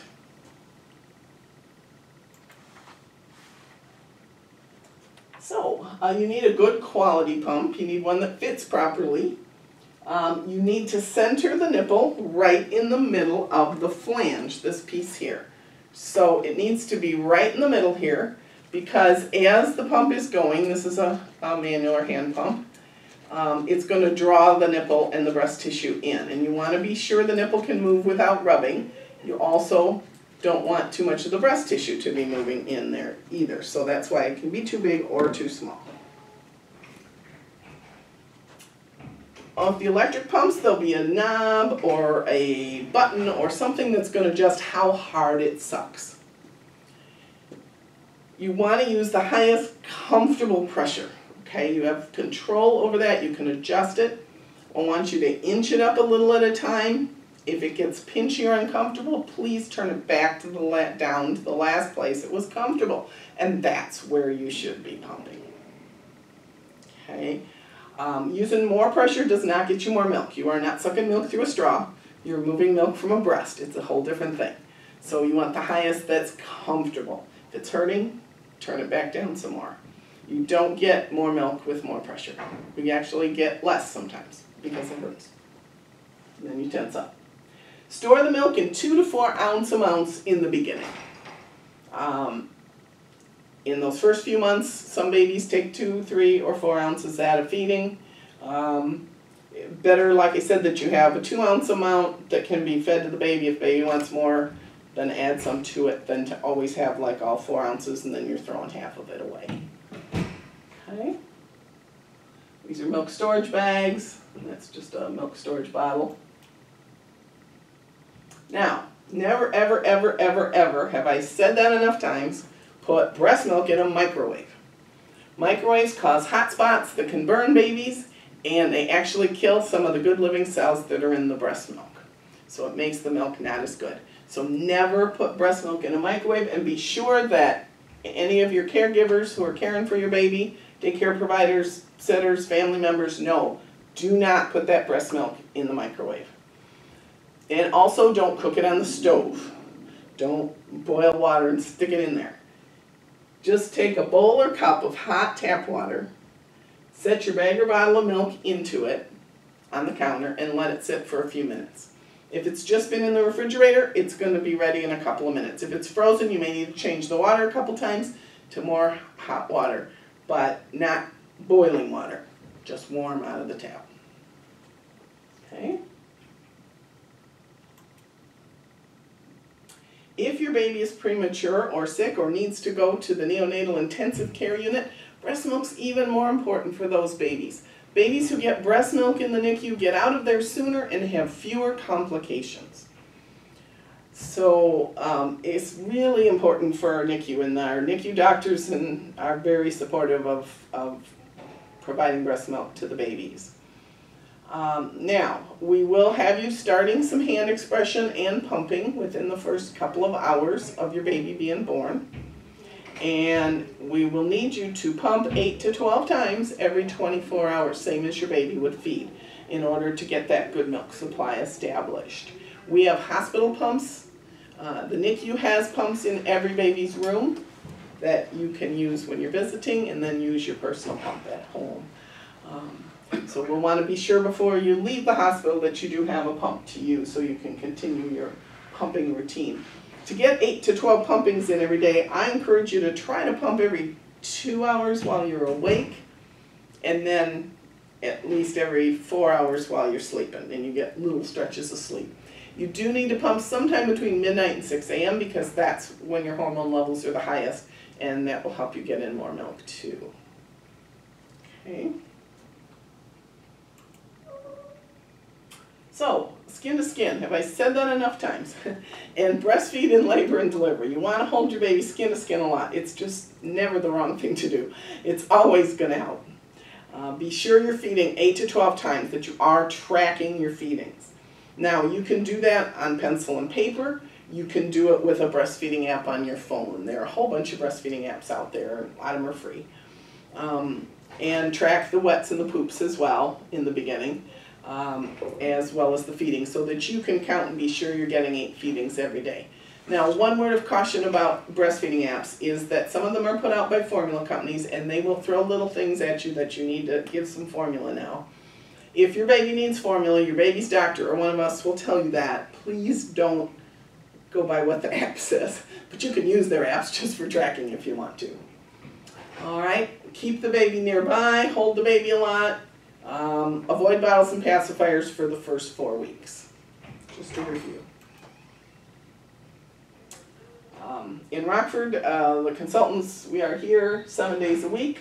We have great references for medications, resources if you are taking a medication and you're not sure it's okay for breastfeeding or a doctor prescribes it for you and tells you you can't breastfeed and take it or the pharmacist tells you you can't breastfeed and take it please call us to confirm because there are medicine references that say all medicines are bad for breastfeeding.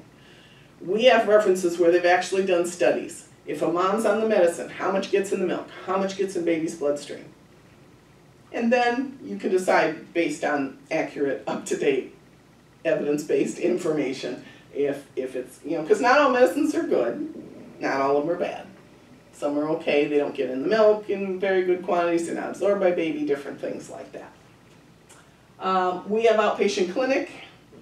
Every uh, mom who delivers at any of the hospitals, if they want to, can come to our outpatient clinic if you need some help with breastfeeding or need some reassurance after you're dismissed from the hospital.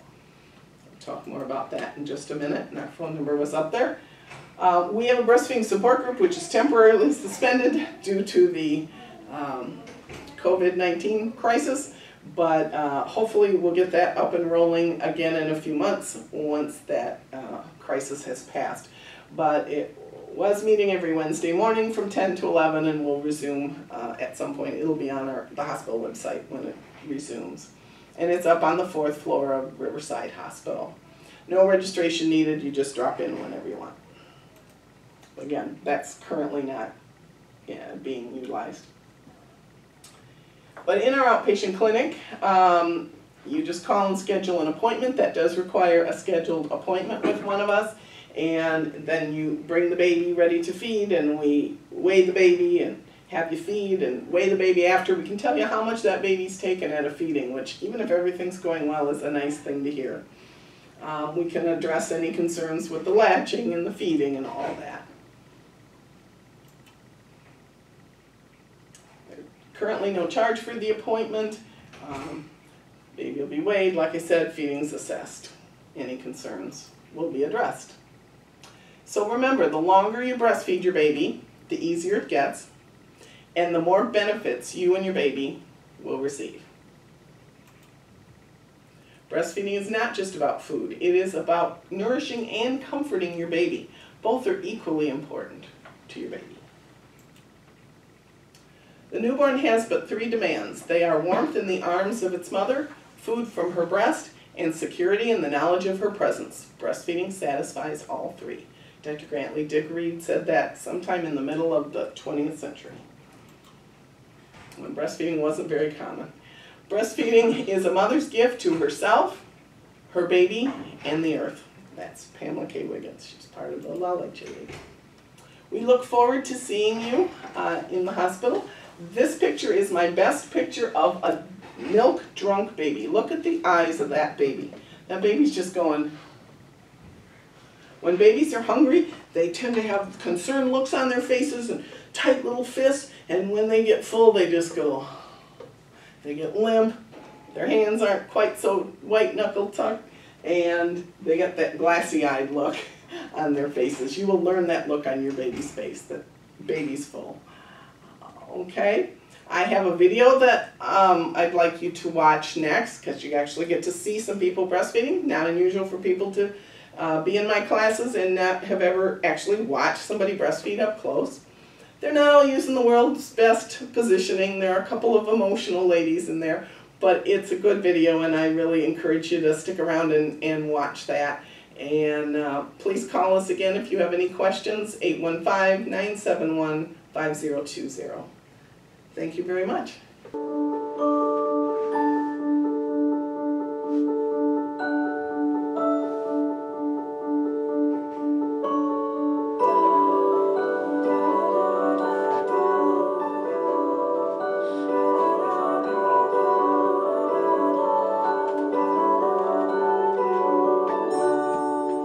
Finding out I was pregnant was probably one of the best days of my life.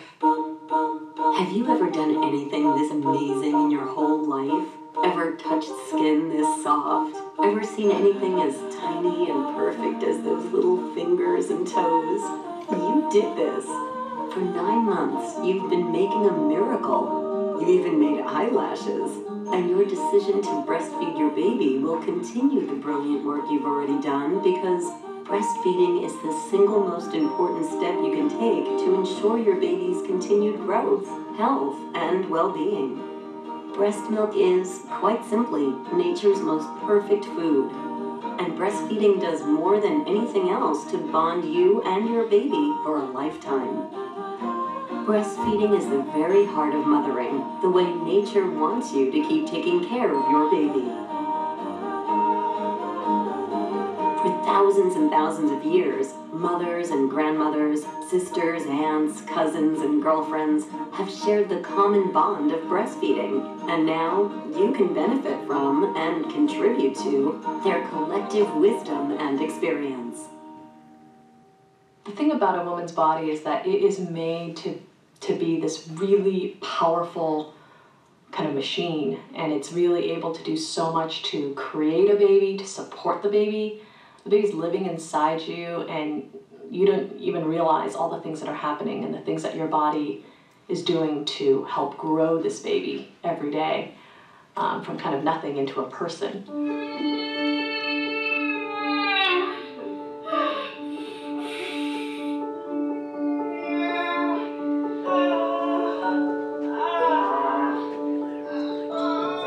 Rest of your lives, you and your baby will never spend a more important hour together than the very first one after birth.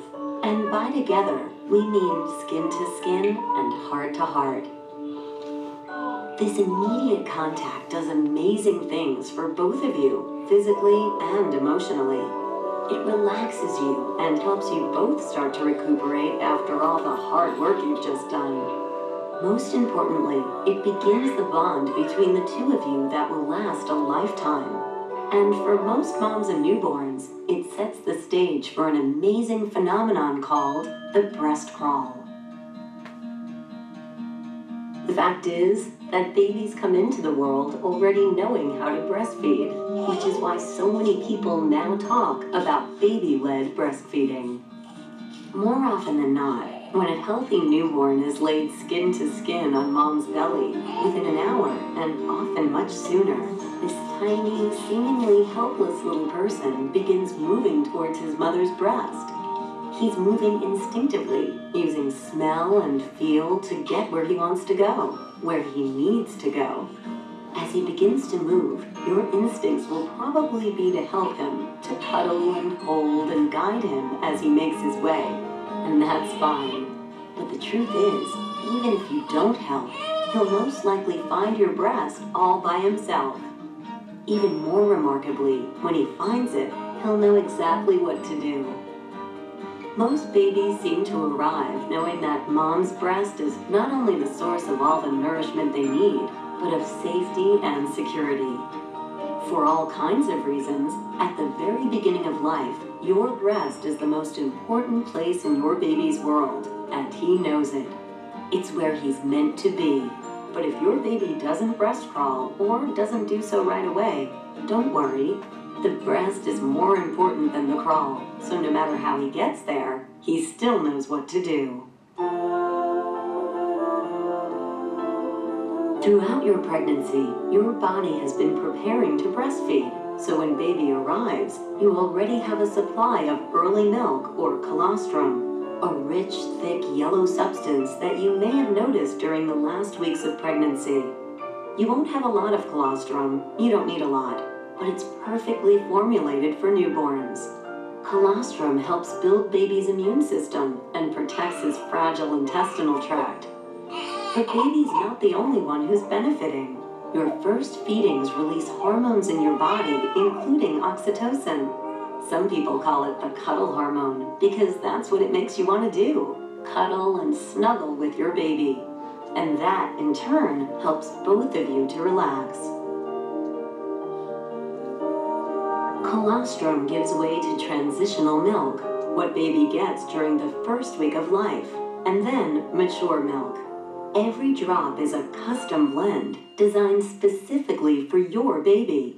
Just as no two babies are alike, neither is the milk their mothers make for them. You are delivering exactly what your baby needs, exactly when he needs it. That's because your breast milk is constantly changing to meet your baby's changing nutritional needs. Not just every week or every day, but every feeding. As each feeding progresses, your milk gradually changes from thinner thirst quenching milk at the beginning to a thicker milk loaded with fats at the end of the feeding that helps satisfy your baby's appetite. It's as though he starts with skim milk and then gets a little 1%, 2%, whole milk, half and half, and finally, heavy cream. There's nothing like it. There's there's nothing like knowing that I am the only person that can do that with her. Yes, I grew her, and I was the only person who could do that, but nobody else can sustain her like I can. Breast milk has so much good stuff in it, we don't have time to tell you about all of it. In fact, researchers think there may be more good stuff in breast milk than they even know about. But we do know that breast milk protects your baby from many serious illnesses. And we know that breastfeeding moms are at lower risk for breast cancer. What's more, this miracle food is absolutely delicious. Ask any baby. It's easy to digest, it's always at the perfect temperature, and the manufacturer, that's you, should have plenty of inventory. But best of all, nature's most perfect food, which you couldn't duplicate at any price, is absolutely free. For the first several weeks of your baby's life, the two of you will probably spend more time breastfeeding than any other single activity, except, hopefully, sleeping. Nature designed it that way because lots of breastfeeding helps you build your milk supply and gives you and your baby the time to get to know each other. In just a few days, your baby will recognize your face, your voice, the way you feel and smell. And just as baby knows your voice, you'll know your baby's. That old wives' tale about being able to tell the difference between baby's cries I'm wet, I'm hungry, I'm tired. It's absolutely true. And breastfeeding is the primary way you and your baby learn about each other. Hi, Mom. Hi, kid. What's new? Everything.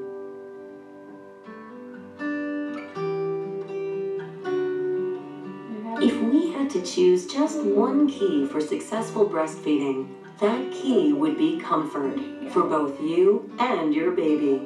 And the key to comfort is often calm. Before you breastfeed, if there's time, take a moment. Talk a little, touch a little, snuggle.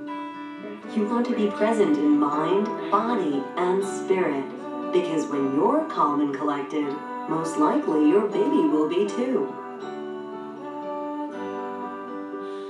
Of course, there will be times when this kind of check in won't be realistic. The only thing you'll care about will be getting baby to the breast right now. But when you can, take a moment. Don't pass it up.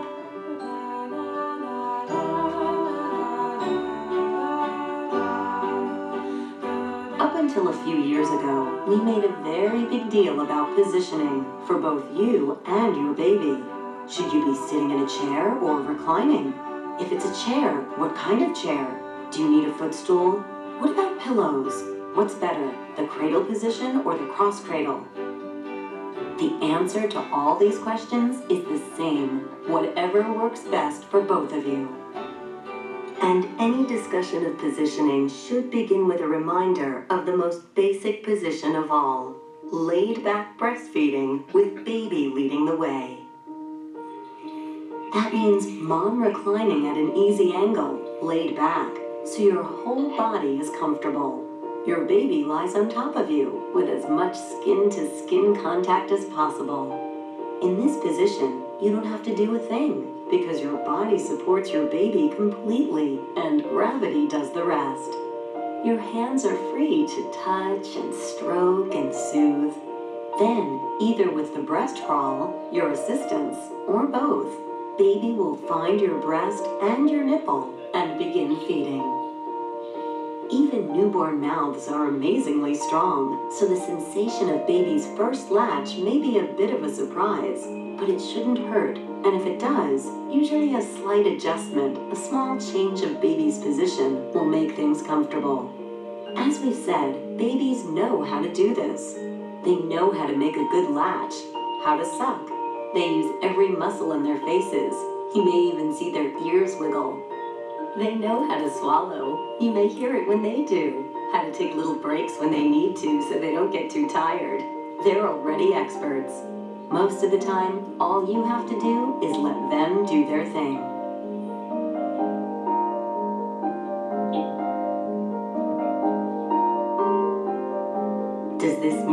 The laid back position is the only way you and baby will want to breastfeed? Not at all. For a variety of reasons, at some point, you'll want to change things around, and that's where the other positions come in. One of the most popular positions is called the cradle hold. Baby's on his side, so the two of you are tummy to tummy, with baby's head resting comfortably on your forearm with his head free to move.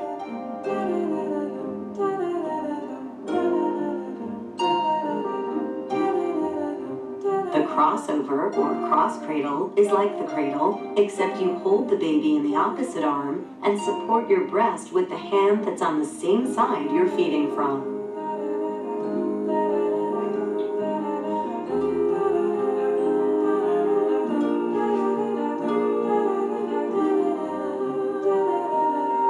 There's also the clutch or football hold with the baby tucked under your arm instead of cradled in it. This position can be helpful after cesarean deliveries because it keeps the baby's weight away from the incision.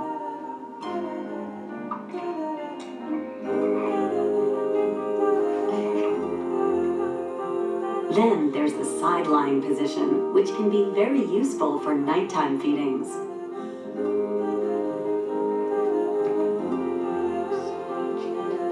If you're planning to nurse your baby in your bed, this arrangement can eventually become almost automatic for the two of you and may provide you with more rest, especially during those early weeks together. When the two of you get good at nighttime feeding, it won't be uncommon for one or both of you to fall asleep.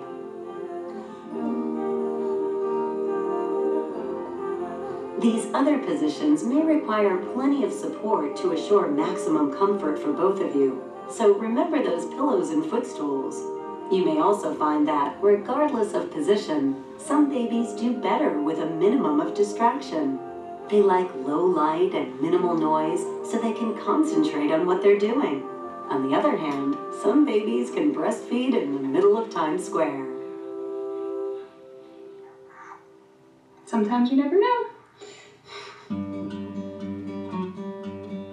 Breastfeeding, like the rest of parenting, is on the job training.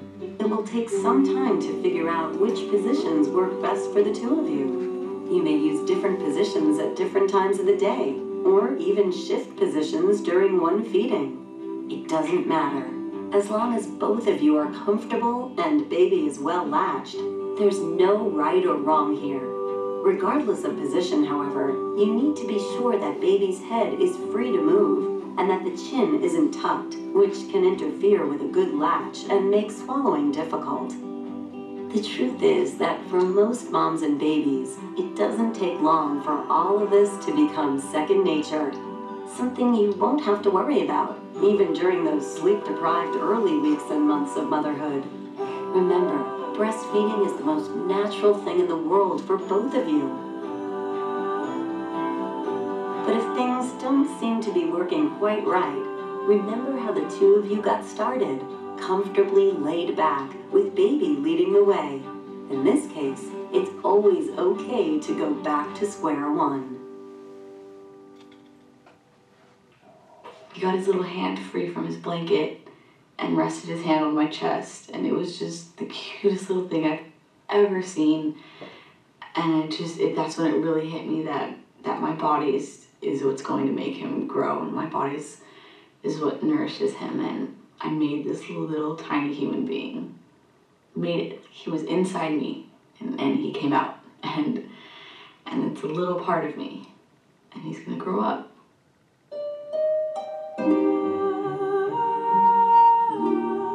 So far, we've only been talking about moms and babies because breastfeeding is, of course, exclusively a mom and baby collaboration.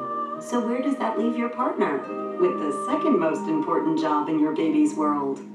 Simply put, a partner's job is to nurture you so that you can nurture your baby. That can mean many things, ranging from burping, changing diapers, bathing, and dressing, to being the gatekeeper who keeps distractions and intrusions to a minimum, including taking care of your other kids if you have them. But your partner and your baby also need to bond. So playing, cuddling, comforting, taking the baby between feedings, staring in awestruck wonder at the person you've made, they're all in the job description too. And one more thing, partners, don't forget to tell mom what a great job she's doing. It makes a difference. My husband hates bananas. He's always hated bananas.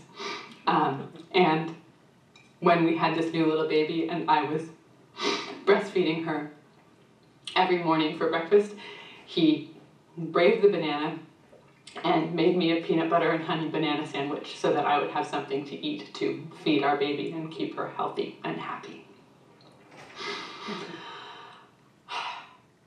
So far, we've made it sound like all you need to do is get a baby, get comfortable, and get started. And it's entirely possible that that's exactly what will happen. It's also possible that it won't. So here are some answers to a few of the most frequently asked questions, especially when you're just starting out.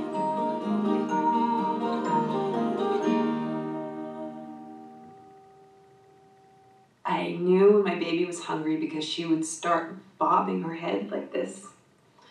Um, and whoever was holding her, she would start bobbing along their chest, or she would start turning her head to, to try to latch on to, um, you know, people's arms and shirts and everything else. Sometimes in the beginning it'll be sort of slow, like she's sort of moving back and forth, but then as time goes by, she doesn't get the breast, she starts doing this. He would do this in his sleep.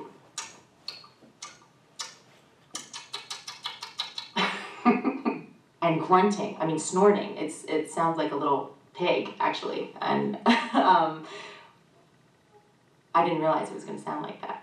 When they're really young, they'll it, looks like they're trying to eat their fists. They'll just put their hands and fists and stuff into their, their mouth and get a little fidgety and then you know. And if you miss those cues, you, know, your baby's gonna start screaming and wailing.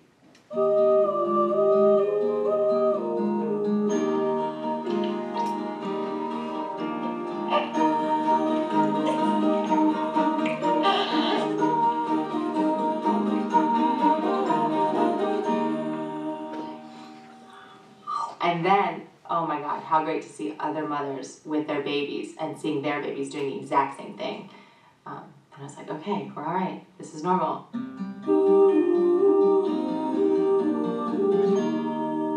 I, I can see that satisfaction that my son had um, when he was nursing, when he just, he'd, he'd look at me and he'd be panicked initially until he latched on. And then the suction happened, and then his eyes closed, and he was just in a state of bliss. So she just starts to get distracted and like pulls away and looks away and arches her back and it's just you know everything becomes about not about the boob. so whereas when she's hungry everything is about the boob. when she's not hungry everything becomes everything around her becomes very interesting.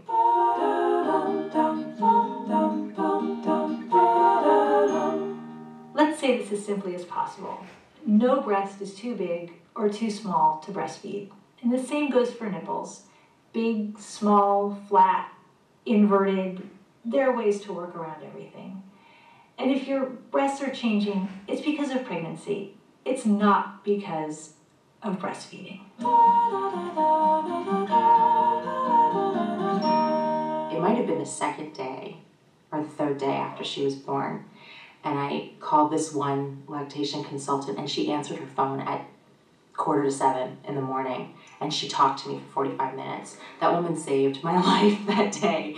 I um i was so grateful. And she just said to me you know it's it's going to be okay. She's not going to die. If you can't feed her she's going to be all right. You know the first few days is um, is mostly just for you both to rest and recover from the birth. And um, so don't don't worry. It's going to be all right Thank God that woman answered her phone.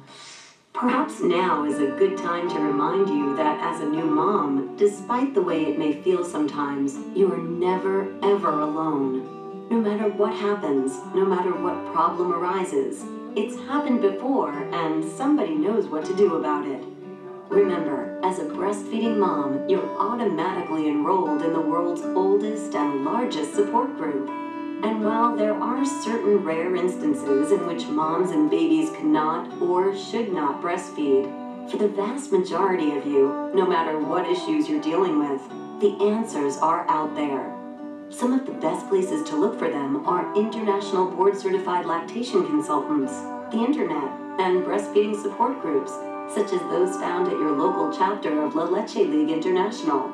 In fact, joining a support group is a great idea, even if everything is going just fine. You know all those moms you see hanging out with their little ones at the playground? Guess what they're talking about? Groups provide strength in numbers, kindred spirits, shoulders to lean on, and occasionally cry on, and ideas and answers by the thousands. And trust us, there will be thousands of questions as the weeks and months go by, most of which will have nothing to do with breastfeeding.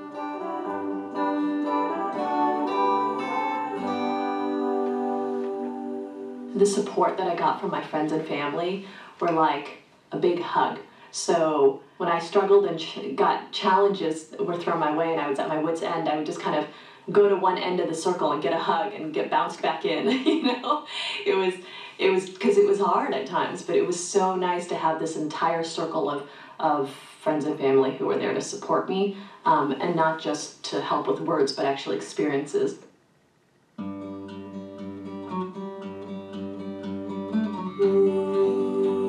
Which brings us to another topic that may seem very far away right now going back to work.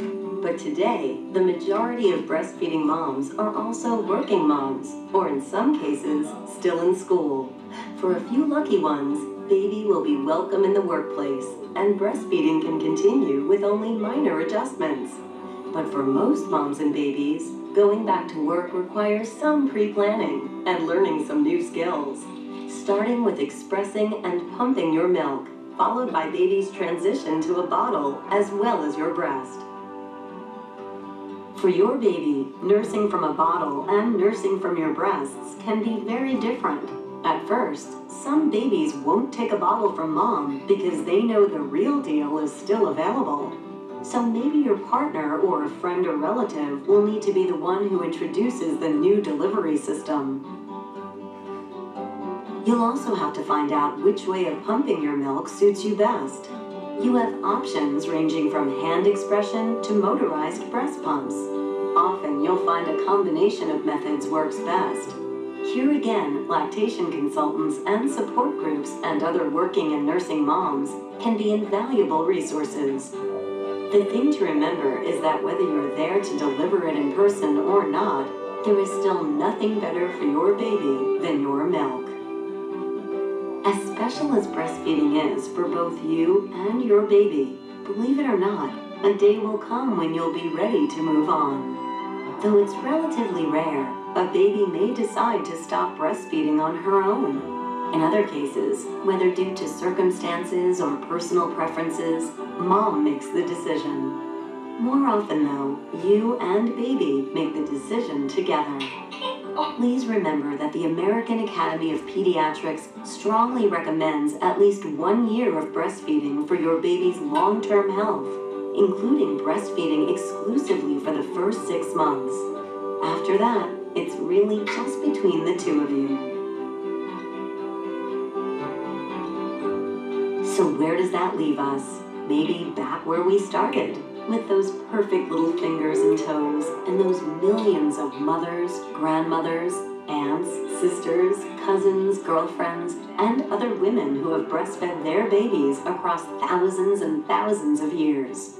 They knew what you know that there has never been anything more natural or nurturing in the world.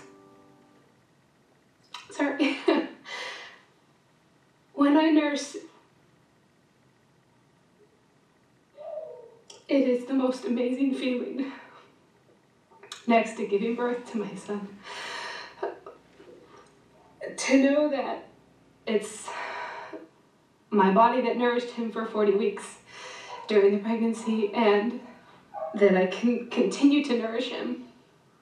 And that together he and I are growing and I am giving him what he needs to be a strong, healthy young man is like nothing I ever thought I would experience. And uh, I wouldn't trade it for the world. I would never trade that for anything.